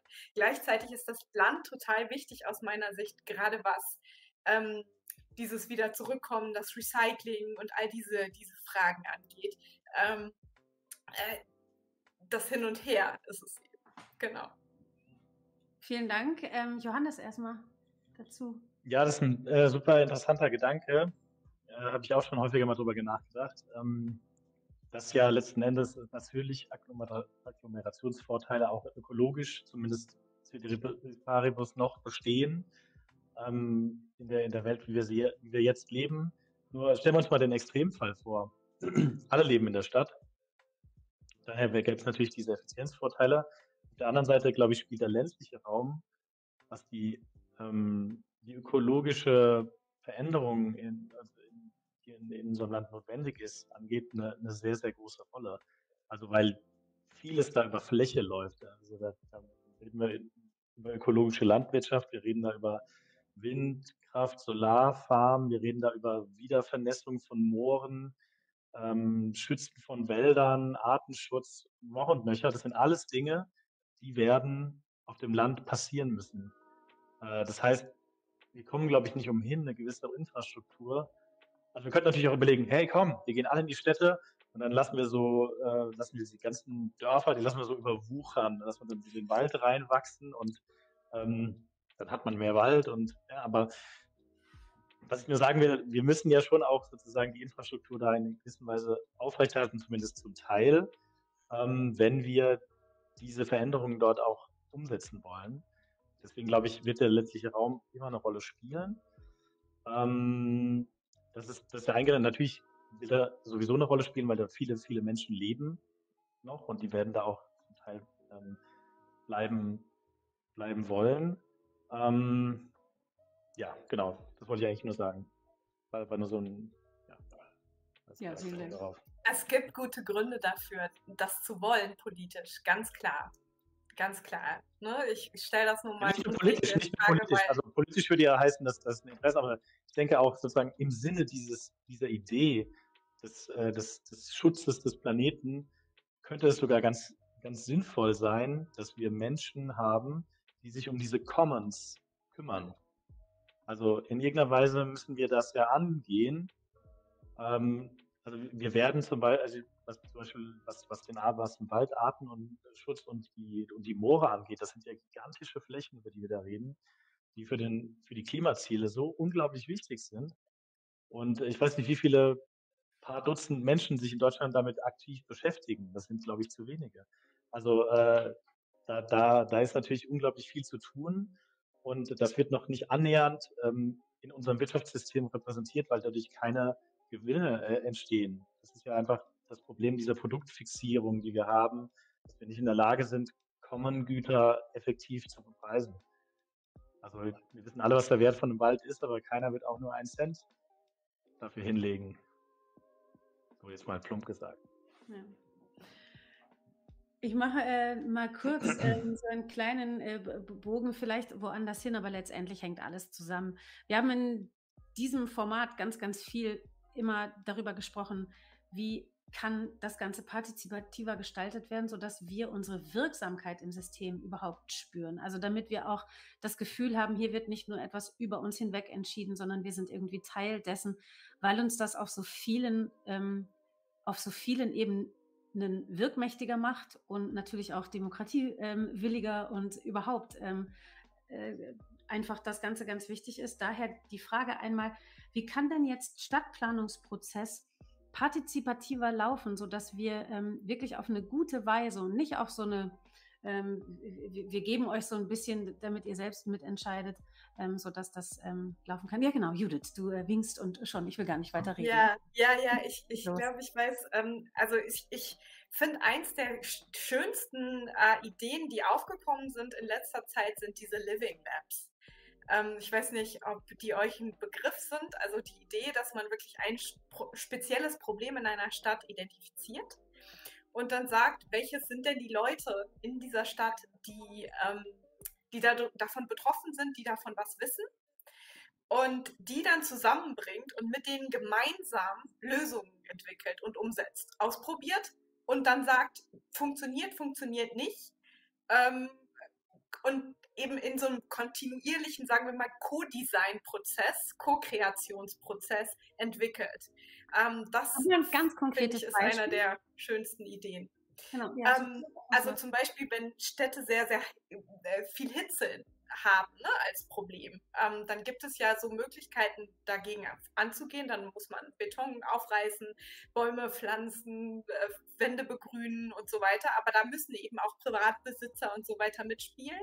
Und wie kriegt man das hin, dass man das irgendwie als Gemeinschaftsaufgabe organisiert und, und hin umsetzen kann eben als Konzept und wo müsste das dann sein und so. Da müssen Wissenschaftler dazu, da müssen dann in der Regel ähm, alle möglichen Sachen in der, der Richtung dazu. Und ganz, ganz konkret versuchen wir dieses äh, in einem Forschungsprojekt gerade auf EU-Ebene nach, äh, nach auf regionaler Ebene zu, zu designen. Also nicht mehr so klein für ein Stadtviertel, sondern irgendwie noch größer und Richtung ähm, ja, Klimaneutralität von Regionen zu gehen, was sehr, sehr kompliziert ist.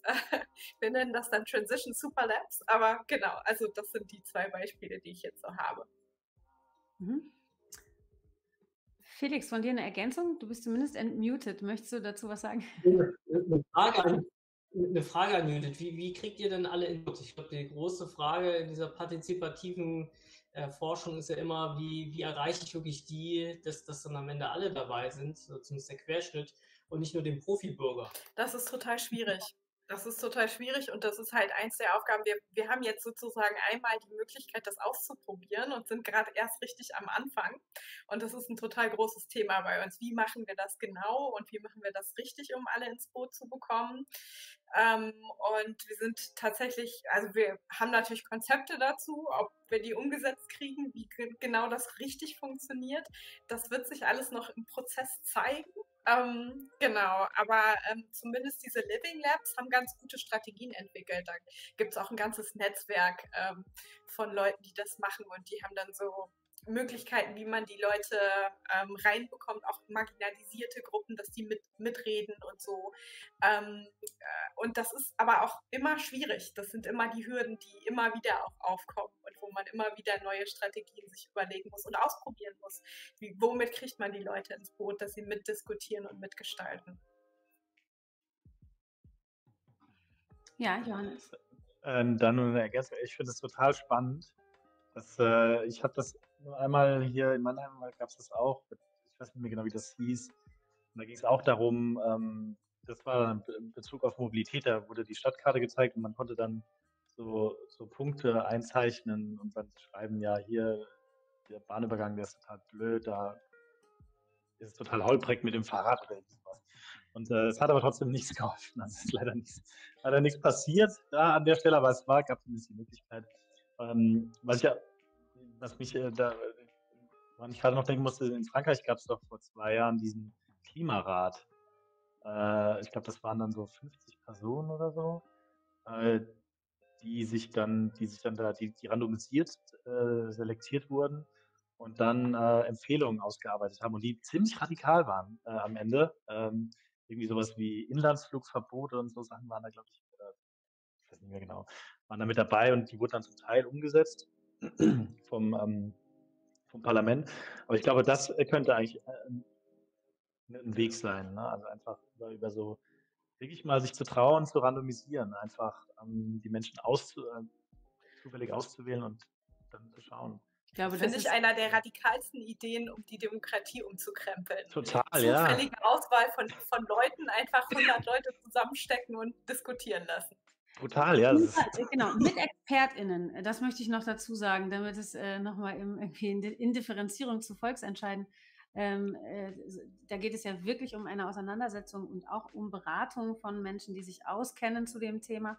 Aber ich glaube, die Erfahrung, ähm, die diese ähm, Versuche, die es ja schon gab, äh, zeigen, ist, dass es immer viel radikaler ist, wo wir wieder den Bogen zum ähm, politischen Willen auch manchmal haben. Ne? Oder vielleicht auch ähm, der äh, dass uns äh, vielleicht gar nicht so viel zugetraut wird in dem, wo, was, was eigentlich wirklich machbar war, weil viel zu viel Wert gelegt wird auf, auf einige vielleicht sehr laute Stimmen, ähm, die, die, das, die das Ganze nicht wollen. Ähm, du hattest dich noch gemeldet, Felix. Ich will dich gar nicht übergehen, aber ansonsten habe ich noch weitere Fragen. Ja, also ich finde find beraten durch solche Gremien finde ich ganz gut. Entscheiden, da kriege ich ein bisschen mhm. äh, Kribbeln auf der Haut. Ähm, also ich hab, wir haben auch eine Studie gemacht so, zu kleinen Dörfern in, in Schleswig-Holstein. Die, die, dürfen nämlich direkte Demokratie haben, wenn sie nur klein genug sind. Ähm, und haben verglichen mit Dörfern, die also knapp äh, keine direkte Demokratie haben. Und wir sehen, dass die direkt gewählten Parlament oder die direkt gewählten Gemeinden, die die direkte Demokratie haben, gar nicht so viel anders entscheiden als die, die mit mhm. Politikern, also mit Gemeinderäten ähm, arbeiten. Also man sollte auch aufpassen, das ist eine nette, eine nette Sache, ähm, aber nicht jeder ist in der Lage oder willens, äh, sich, sich zu beteiligen. Und so unterschiedlich sind am Ende sogar fast die Entscheidungen zwischen, wenn, wenn Demokratie gut funktioniert, äh, zwischen direkter Demokratie und äh, äh gewählten Vertretern äh, gar nicht. Aber muss ich glaube, aber Demokratie muss politischer Wettbewerb gut funktionieren, dann, dann, dann klappt das. Ja, ich würde dir zustimmen, kann ich da ganz kurz eine Sache zu sagen. Ich glaube aber, dass man da trotzdem eine gewisse Selektion hat an diesem, an dieser, äh, weil du natürlich in kleinen und auch die, die partizipativ, äh, partizipativ arbeiten, also die gerade über der Schwelle sind, werden ja, sind ja klein. Und entsprechend existieren da ja, gibt es da vorhandene Netzwerke, während du natürlich in einer großen Stadt diese vorhandenen Netzwerke, also die sind, die sind nicht so eindeutig. Also das, glaube ich, ist schon ein Unterschied. Deswegen würde ich das jetzt nicht eins zu eins auf dieses mhm. größere auf, auf das größere Setting anwenden ja. wollen. Aber ja. Ich, ich wollte nur sagen, es, es, es gibt gibt noch eine nette Studie zu Erlangen. Erlangen äh, hat regelmäßig Volksentscheide gemacht zu Neubaugebieten. Und man kann ja dreimal raten, ähm, wo die Leute in welchen Stadtbezirken eher für oder gegen Neubaugebiete waren, nämlich genau dort, ähm, wo gerade das Neubaugebiet eben nicht entstehen sollte. Da waren die Leute dafür.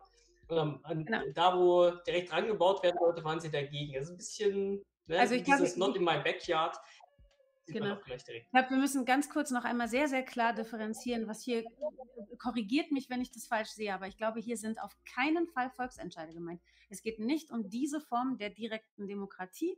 Ähm, äh, das finde ich sehr demokratiefern.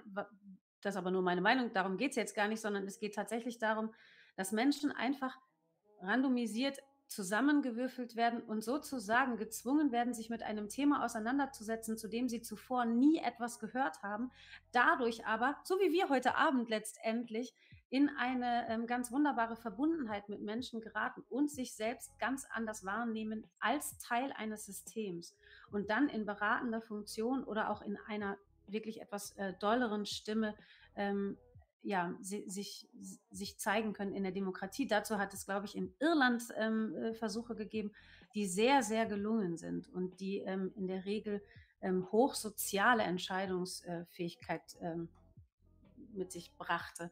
Nochmal kurz Judith und dann gehen wir nochmal weiter. Genau, nur ganz kurz. Das ist total wichtig, weil es gibt zwei Ebenen von Diskurs oder Entscheidung politischer. Das ist einmal, habe ich die Möglichkeit, A oder zwischen A und B zu entscheiden oder habe ich die Möglichkeit, was komplett Neues gemeinsam zu entwickeln. Mhm. Und das ist das, wo dieses, wenn man randomisiert Leute, also zufällig Leute zusammenwürfelt und äh, diskutieren lässt, miteinander die Möglichkeit erschafft, dass da wirklich unterschiedliche Stimmen und sich ein neuer Diskurs herausbildet. Und zwar auf dieser deliberativen Ebene. Nicht auf der Entscheidungsebene, sondern auf der Ebene, wo man Entscheidungen vorstrukturieren kann die nachher vielleicht abgesegnet werden oder nicht. Aber da entstehen wirklich neue und ganz andere Sichtweisen von dem, was ich auch mitgekriegt habe. Und deswegen, ja, genau, ganz wichtig.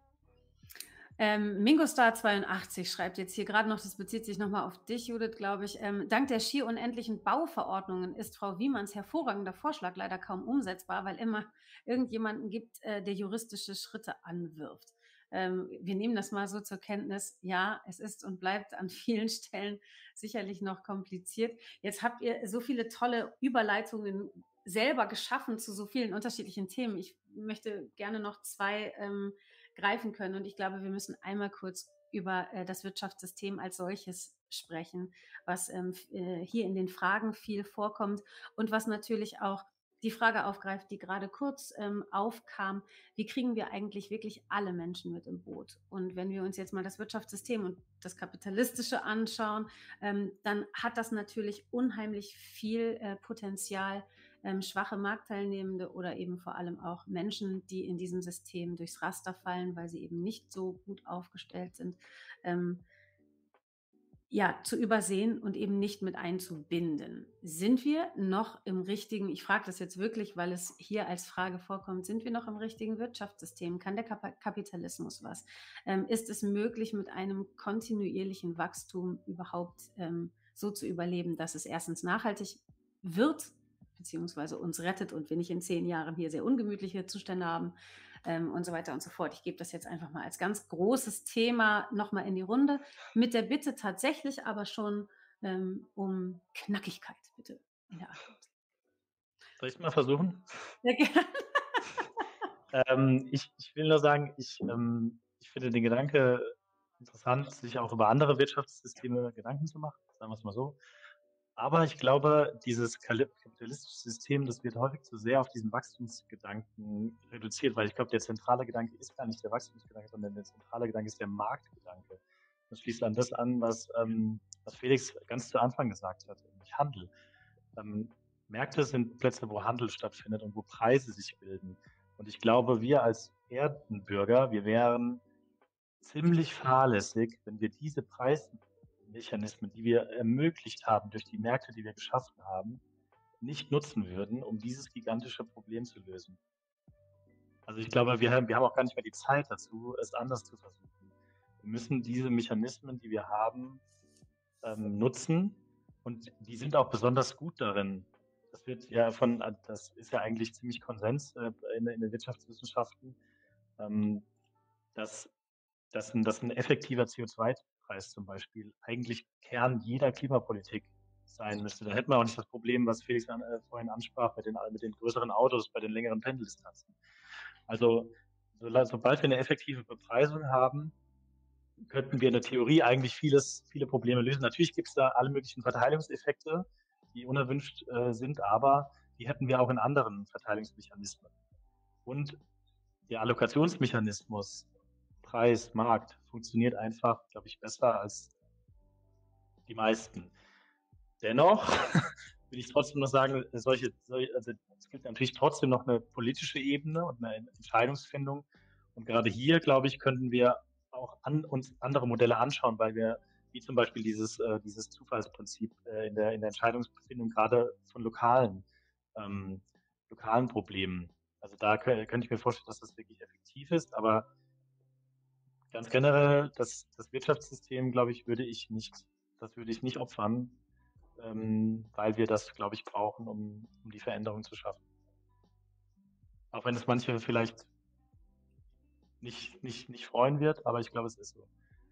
Okay, vielen Dank erstmal. Ich gebe die gleiche Frage mal weiter an, an die anderen beiden. Felix, magst du mal?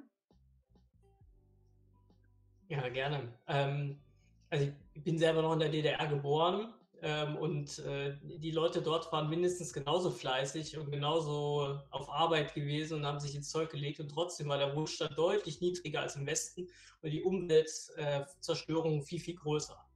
Ja, ähm, weil wir einfach darauf verzichtet haben und ähm, das wurde eben schon ganz richtig gesagt, den, den Preis wirken zu lassen. Ja, das ist das Mächtige der Marktwirtschaft. Die äh, erzeugt halt wirklich ein Maximum an Wohlstand. Die Frage ist nur, ist das dann am Ende gerecht verteilt? Ähm, und das sind zwei Dinge, die man trennen kann äh, und sollte. Also wenn wir wirklich wollen, dass wir äh, in, äh, einen Wohlstand haben, den wir auch verteilen können am Ende, dann sollten wir schon auf die Marktwirtschaft setzen. Die Frage ist, ob wir die überhaupt gerade so haben, wie sie mal an die Wand gemalt wird. Ja? Jeder zweite Euro äh, läuft einmal pro Jahr durch die Hände des Staates. Wir haben eine riesenhohe Regulierungsdichte. Also das, was wir Marktwirtschaft nennen, ist eh schon ein sehr, sehr reguliertes äh, System was auch sehr fein aus, ausbalanciert ist zwischen verschiedenen Interessengruppen. Wo wir, glaube ich, noch nicht so gut sind, ist äh, Interessengruppen mit zu, einzubeziehen, ähm, die nicht über den Markt vertreten sind. Ähm, also sowas wie sozialer Zusammenhalt, sowas wie Umweltschäden, ähm, so, solche Dinge einzupreisen und Teil des, des Handels, des Kalküls zu machen, das ist eben die wichtige, die wichtige, der wichtige nächste Schritt. Da sind wir mit CO2-Steuer und so weiter auf dem Weg, das, das besser abzubilden.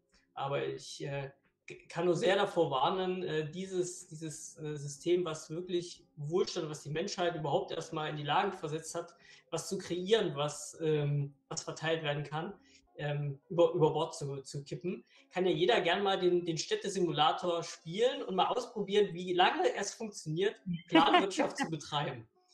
Und das geht nämlich nicht sonderlich lange gut und dann kollabiert das Ding. Vielen, vielen Dank, sehr gut. Äh, Judith, möchtest du da noch was zu ergänzen? Oder? Ja, bitte. Ja, ich möchte dazu noch was ergänzen. Und zwar, ähm, ich glaube, dass Märkte sehr, sehr sinnvoll sind in vielerlei Hinsicht, äh, ganz viel können, aber auch nicht alles. Und zwar bei weitem sehr viel weniger, als ihnen zugetraut wird, aus meiner Sicht. Und zwar insbesondere sind sie nicht gut da drin und haben das bisher nicht deutlich unter Beweis gestellt, dass sie ähm, die Interessen der Natur schützen können, in dem Sinne von äh, Vögel sind keine Marktteilnehmer und deswegen werden sie auch nicht mit ihrem Interesse abgebildet an der Stelle. Und äh, Bäume noch weniger an der Stelle. Und ähm, das liegt aber nicht am Mechanismus. brauchen wir an der Stelle schon eine deutliche Änderung des Systems. Und wo Märkte funktionieren aus meiner Sicht, sollten sie verwendet werden. Und wo sie das nicht tun, wo Marktversagen ist, das ist nämlich ein komplettes Marktversagen, das Klimaproblem, wenn man es äh, stilisieren will, da sollte man einsetzen und versuchen, neue Systeme zu schaffen. Und ich bin mir nicht sicher, dass eine Planwirtschaft die einzige Alternative ist. Ich glaube, es gibt noch ganz viele andere Sachen, wie man das äh, regeln kann. Ähm, zum Beispiel, dass man Märkte vernünftig schafft, die das dann regulieren oder so. Aber ähm, genau, bisher hat das nicht gut funktioniert. Und deswegen glaube ich schon, dass wir radikale Veränderungen brauchen und dass wir auch nicht weiter wachsen können in dem Sinne, äh, wie wir es getan haben. Denn irgendwie ist dieser Planet endlich. Vielen, vielen Dank. Ich glaube, das mit dem ganz schnellen Reinwürfen, das gelingt immer nicht so richtig. Darum haben wir jetzt eure beiden Beiträge, die so reingegrätscht sind, nicht ganz gehört. Vielleicht könnt ihr sie nochmal wiederholen. Wir fangen mal mit Johannes an und dann ähm, Felix, auch wenn das dann nicht mehr so richtig reinpasst, aber haut es nochmal raus. Genau. Ich will nur nochmal betonen, dass ich Judith unbedingt zustimmen würde. Das ist das größte, das heißt ja auch immer, das the biggest market, market failure. Ne? Da gab es ja dieses berühmte ähm, Konsortium, ähm, was wir uns sich so geprägt haben aber es geht mir, es geht mir um den Mechanismus. Ich glaube, man, man, kann, man kann das schon theoretisch anwenden. Man kann auch, man, man kann, also wir brauchen eine andere Art und Weise, wie wir, wie du sagst, Naturressourcen, ähm, Vögel, Bäume und so weiter in diesen Mechanismus mit einbeziehen. Ähm, vielleicht gibt es auch andere Wege sozusagen als, als den Marktmechanismus in dem Fall, aber das Problem ist nicht der Marktmechanismus an sich, sondern das Problem ist das Marktversagen. Das ist, das, das meine ich äh, nur in dem Fall. Gäbe es die richtige Bepreisung, dann wäre das Problem in der Form nicht da. Also wenn wir, wenn wir, das hatte ich vorhin schon irgendwann mal gesagt, wenn wir in der Lage wären, Commons-Güter richtig zu bepreisen und wir sind einfach nicht dazu in der Lage, wir können das nicht. Ähm, es funktioniert nicht, weil unser Konsumsystem oder produktbasiertes System eben darauf ausgelegt ist, Lachs zu fischen oder, oder Krabben und nicht darauf sich um den Meeresboden zu kümmern. So, plump gesagt. Aber es gäbe sicherlich Möglichkeiten, Mechanismen zu schaffen, die das ermöglichen. Ohne den ganzen anderen, ja, ja. den anderen Rest abzuschaffen. Vielen Dank.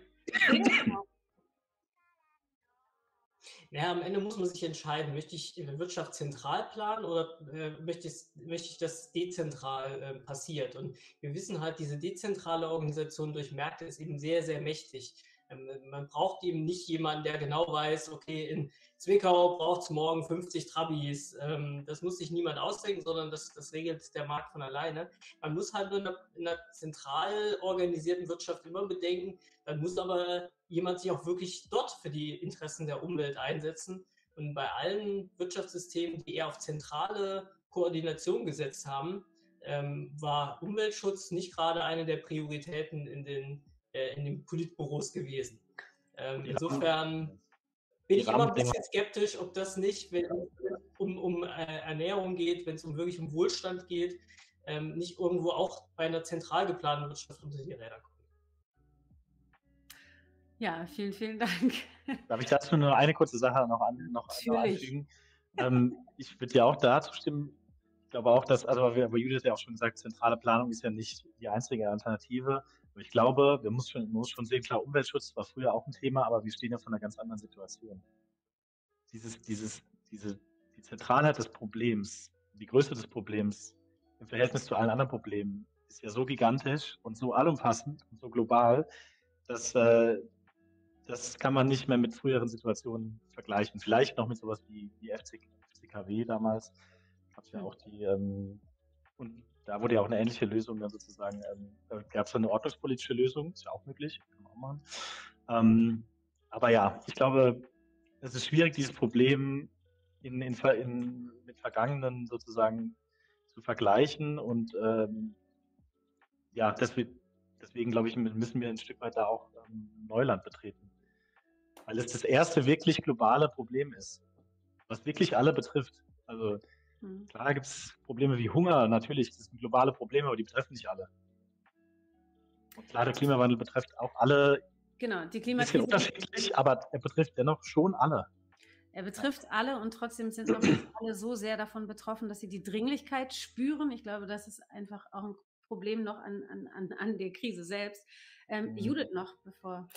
Ja, also mein Plädoyer ist nicht für äh, äh, Planwirtschaft, sondern für was nicht funktioniert, damit einfach mal aufhören. Ähm, und das klingt sehr einfach, aber wenn es ein Marktversagen gibt, dann kann der Markt das zumindest so, wie er aufgestellt ist, gerade nicht regeln. Dann muss man eine neue Lösung ausprobieren und schauen, ob die funktioniert. Und das ziemlich schnell.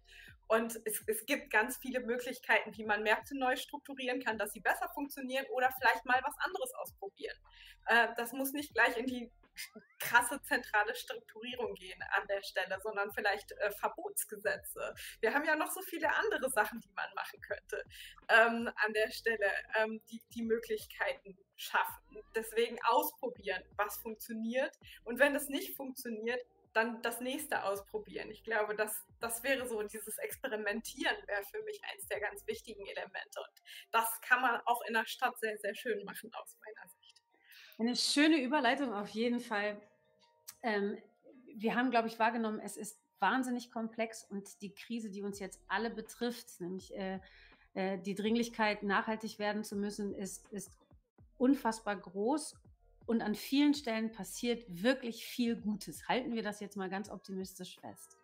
Also es ist noch möglich, ähm, ja, äh, es wird dringlicher, mancher Protest wird dringlicher und ich glaube, wir müssen noch ein bisschen äh, ziemlich direkt, ähm, ja, sozusagen, ähm, wir, wir, brauchen noch einen Schlag ins Gesicht, damit es hier wirklich losgeht. Aber ich glaube, es gibt so viele, ähm, zum Beispiel, ähm, du hast jetzt gerade Gesetzeslagen angesprochen. Klar, wenn wir auch nur ansatzweise ähm, alle Gesetze umsetzten, die theoretisch schon möglich sind und uns auch auf dem Weg der Nachhaltigkeit ähm, äh, helfen, dann, dann wäre auch schon viel gewonnen. Aber es gibt natürlich auch schon eine Menge Startups ähm, zum Beispiel, die tolle Konzepte mit sich bringen. Es gibt so viele Lösungen, die irgendwie schon da sind und ähm, es fehlt am politischen Willen. Das halten wir auch noch mal fest. Jetzt habe ich drei ähm, abschließende Fragen gerne an euch, denn die Zeit rast heute und es freut mich sehr. Ich möchte an dieser Stelle schon mal Danke sagen für das Gespräch. Danke auch für euch im Chat.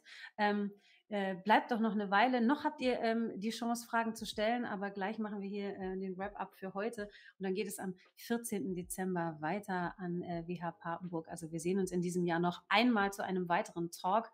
Alle Informationen dazu, wie es hier weitergeht, findet ihr auch unter der ähm, Internetseite www.hausderwissenschaft.org.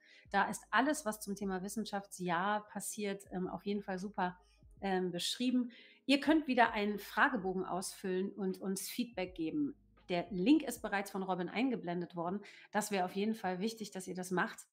Und bevor ich jetzt noch mal kurz zu euch ExpertInnen gehe, möchte ich einmal wieder mal großartig Danke sagen an Robin und an Jakob. Ihr kennt sie aus dem Chat und ohne sie wären wir hier verloren. Es würde überhaupt nichts laufen und es würde nicht mal das Projekt geben.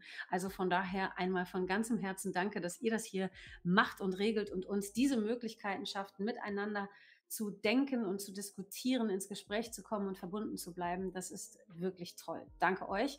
Und danke Lilly, die immer noch fleißig, fleißig spielt. Wir kommen gleich nochmal abschließend eine kleine Runde zu dir, bevor wir auch das Spiel heute ähm, schon abschließen werden und du nicht weiterspielst. Du erklärst gleich noch mal kurz, warum. Jetzt komme ich aber noch einmal abschließend zu euch. Vielleicht, ähm, Johannes, magst du einmal anfangen oder ihr, ihr alle, ähm, gibt es irgendeine Innovation, irgendeinen ein Start-up, was in Ihrer Forschung dich in, den letzten, in der letzten Zeit so nachhaltig beeindruckt hat, dass es zumindest bei all dem, was wir heute angesprochen haben, ein Teil ähm, ist, der uns auf, auf einen guten Weg bringt? Gibt es irgendetwas, was dich da fasziniert hat, um so einen positiven Ausblick zu schaffen? Hm, es gibt ganz, es gibt ganz viele ähm, du Lösungen. Musst ähm. entscheiden. Ja, ich muss mich, also ich glaube, ich, ich gebe erst mal weiter, weil ich, ich muss erst, da muss ich noch mal weiter drüber nachdenken. Kurz denken. Hat schon ja. jemand irgendwas ähm, im Kopf? Es muss kein Startup sein, es kann auch irgendetwas anderes, Zuversicht äh, bringendes sein. Ähm, ich habe was. Ah, so schnell. Das ist kein Startup, aber gut, das ist das ist halb gut, halb schlecht. Ich habe neulich irgendwas gehört von ähm, einem neuen Verfassungsvorschlag für Chile. Und in dem waren nämlich genau solche Naturrechte ähm, mit inbegriffen. Also es war die, es die erste Verfassung ähm, oder zumindest der erste Verfassungsvorschlag gewesen, der explizit ähm, sowas mit einbezogen hat. Und auch das wäre ja ein Weg sozusagen, eine, eine rechtliche Grundlage zu finden, um die Probleme auf eine andere Weise anzugehen, äh, vor denen wir stehen und auch eine andere Sichtweise sozusagen auf die ähm, auf, auf, auf Wohlstand so, zu kriegen. Äh, leider wird das nicht angenommen von dem, vom chilenischen Parlament. Ich weiß nicht, wie es weitergegangen ist, habe es nicht verfolgt. Aber ähm, ich fand das total spannend. Ja. Das ist mir jetzt gerade eingefallen. Auf der politischen Ebene.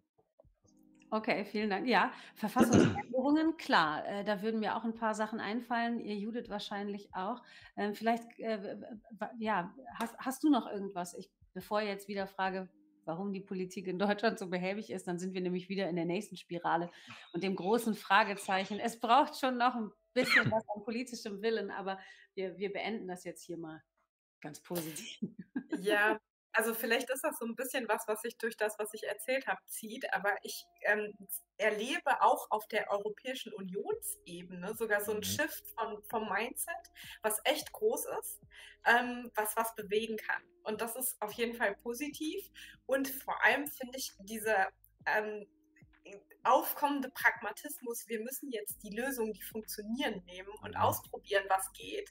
Ähm, und, und viele Lösungen gleichzeitig ausprobieren und irgendwie so in diese Richtung strukturieren. Das ist so das, was mich gerade fasziniert. Und da sehe ich, dass die Startups unglaublich brodeln, definitiv. Ich könnte jetzt nicht eins sagen, aber so in der Masse, was, was für tolle kreative neue Ideen es gibt, die irgendwie äh, was pushen. Und gleichzeitig sehe ich eben auch, dass sich sozusagen auf dieser Landscape, auf den ganzen äh, großen Ebenen was ändert. Und wir als Menschen haben eigentlich schon immer wieder gezeigt, dass wir uns auch sehr, sehr schnell ändern können. Und ich hoffe, ich hoffe auf diese Änder Änderungsfähigkeit. Und ich glaube, ähm, dass, ähm, dass äh, das nur negativ, also ich glaube, es ist ganz wichtig, dass uns ganz klar ist, was die Konsequenzen vom Nichthandeln oder vom falschen Handeln sind, aber dass wir gleichzeitig irgendwie auch darauf vertrauen, dass wir als Menschen irgendwie äh, Verstand besitzen und, und, und uns ändern können, wenn wir das möchten. Und das haben wir ja auch immer wieder gezeigt in ganz radikalen Änderungen, die es gab in der Vergangenheit. Und deswegen, genau, äh, ja, glaube ich schon, dass, dass das klappen kann, wenn wir es anpacken und richtig anpacken. Sehr schön. Dann wünsche ich uns noch eine Portion ähm, äh, Schnelligkeit äh, im Handeln. Äh, äh, sehr, sehr, gut. Wir, wir, kommen weiter. Felix, du hast das letzte Wort sozusagen. Wow, okay. ähm, ja, also mich faszinieren so Medizin-Startups. Ja, viele, ähm, äh, früher musste man zum Beispiel den Kopf reinbohren, um gewisse Untersuchungen zu machen. Das ähm, läuft heute zum Teil über die Linse und Machine Learning äh, Algorithmen erkennen dann, äh, ob da irgendwie eine Krankheit dahinter steckt oder nicht. Tolle, tolle Sachen, wirklich beeindruckend. Also lohnt sich immer mal so einen Blick da reinzuwerfen. Aber ähm, eine der tollsten Dinge, ähm, finde ich zumindest, so die eierlegende Wollmilchsau, ähm, der, der Vergangenheit äh, oder jüngere Vergangenheit ist für mich eBay Kleinanzeigen. Ähm, also weil das die Vorteile der Stadt einfach irgendwie zusammenbringt, ja. Man, man kann Dinge verkaufen, die andere brauchen und man selber nicht braucht, ja. Wir gehen eher Richtung, Richtung Kreislaufwirtschaft, schmeißen nicht so schnell Dinge weg. Man kommt nett in Kontakt, ja, man trifft Leute, die man sonst nie irgendwie äh, getroffen hätte, kommt vielleicht an Ecken der Stadt, die man nie aufgesucht hätte ohne sowas.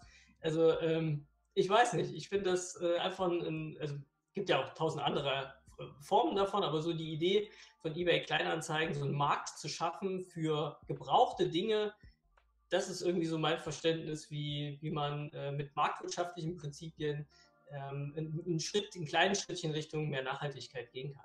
Und das funktioniert auch auf dem Land. ja, wunderbar. Vielen, vielen Dank. Sehr, sehr schön. Ich danke euch wirklich, wirklich sehr. Äh, Judith Wiemann war heute zu Gast und es waren zu Gast Felix Rösel und Johannes Bersch. Schön, dass ihr da wart und euch alles, alles Gute. Bitte forscht weiter, plant weiter, entwickelt weiter, bleibt im Gespräch, auch mit uns. Danke, dass ihr uns heute, euch heute die Zeit genommen habt, uns mit in eure Gedanken zu nehmen. Und jetzt werfen wir noch mal einen letzten Blick in das Spiel. Lilly, wie geht es unserer Stadt? Was macht das Öl? Ähm, ja, das Öl ähm, scheint nicht so ganz so gut zu laufen ähm, wie die Landwirtschaft. Also das ist ähm, vielleicht. Das freut die ExpertInnen. Genau, ich glaube auch. Äh, läuft aber deutlich besser als das Erzgebiet. Also es ist ähm, spannend, was ähm, das Spiel ähm, so ausgeben kann. Ich ähm, musste tatsächlich auch an einer Stelle, ähm, habe ich tatsächlich vergessen zu spielen, weil ich die Diskussion so spannend fand, was das Thema Marktwirtschaft angeht, denn Felix hatte das ganz kurz angerissen. Wenn man nämlich in der Stadt versucht, tatsächlich so eine Planwirtschaft zu machen, ähm, wird die ganze Stadt verarmt. Ähm, wenn man aber den mhm. reinen Kapitalismus, also wirklich reine Form von Kapitalismus, ähm, geht die Stadt genauso zugrunde. Also mhm. es ist mhm. sehr spannend, dass ähm, vielleicht greifen wir das ja nochmal, wenn wir ähm, das mal können, in dem Stream auf, wo wir diese beiden ähm, absoluten Sachen mal gegenüberstellen und gucken, was man eigentlich ähm, wie man in so einer Mischform ähm, viel besser vorankommt. Ich glaube, das wäre ähm, spannend, das anhand vom Spiel, weil das Spiel natürlich auch sehr ähm, übertreibt. Also das ist, man ist entweder sehr reich, sehr arm ähm, und bricht äh, komplett zusammen. Ich glaube, das ist nochmal so etwas, was das Spiel ähm, sehr lustig darstellen kann, was natürlich auch fern von der Realität ist. Ansonsten haben wir sehr viele Probleme mit dem Verkehr.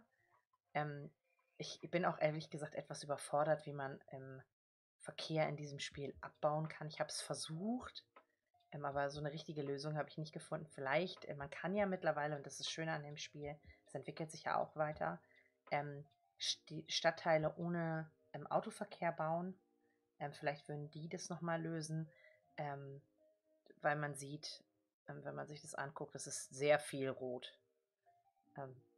und ich bin etwas überfragt, wie man das äh, besser lösen kann. Vielleicht noch ein bisschen mehr ÖPNV einsetzt. Ähm, aber das, ich weiß nicht, ob das den Verkehr von der Autobahn ähm, nimmt, denn die ist irgendwie so unser größtes Problem. Aber es ist doch, das ist doch super. An der Stelle ist es doch tatsächlich absolut realistisch. Also, genau. also ja. manchmal muss man sagen, das Spiel, ähm, natürlich muss man immer wissen, dass das Spiel ähm, eine beschränkte Sichtweise ist. ich glaube, man kann daran so ein bisschen was sehen, was auch ähm, sich sehr gut in die Realität übertragen lässt. Herrlich. Wir danken dir auf jeden Fall, dass du uns ähm, hier immer mitnimmst ins Spielen.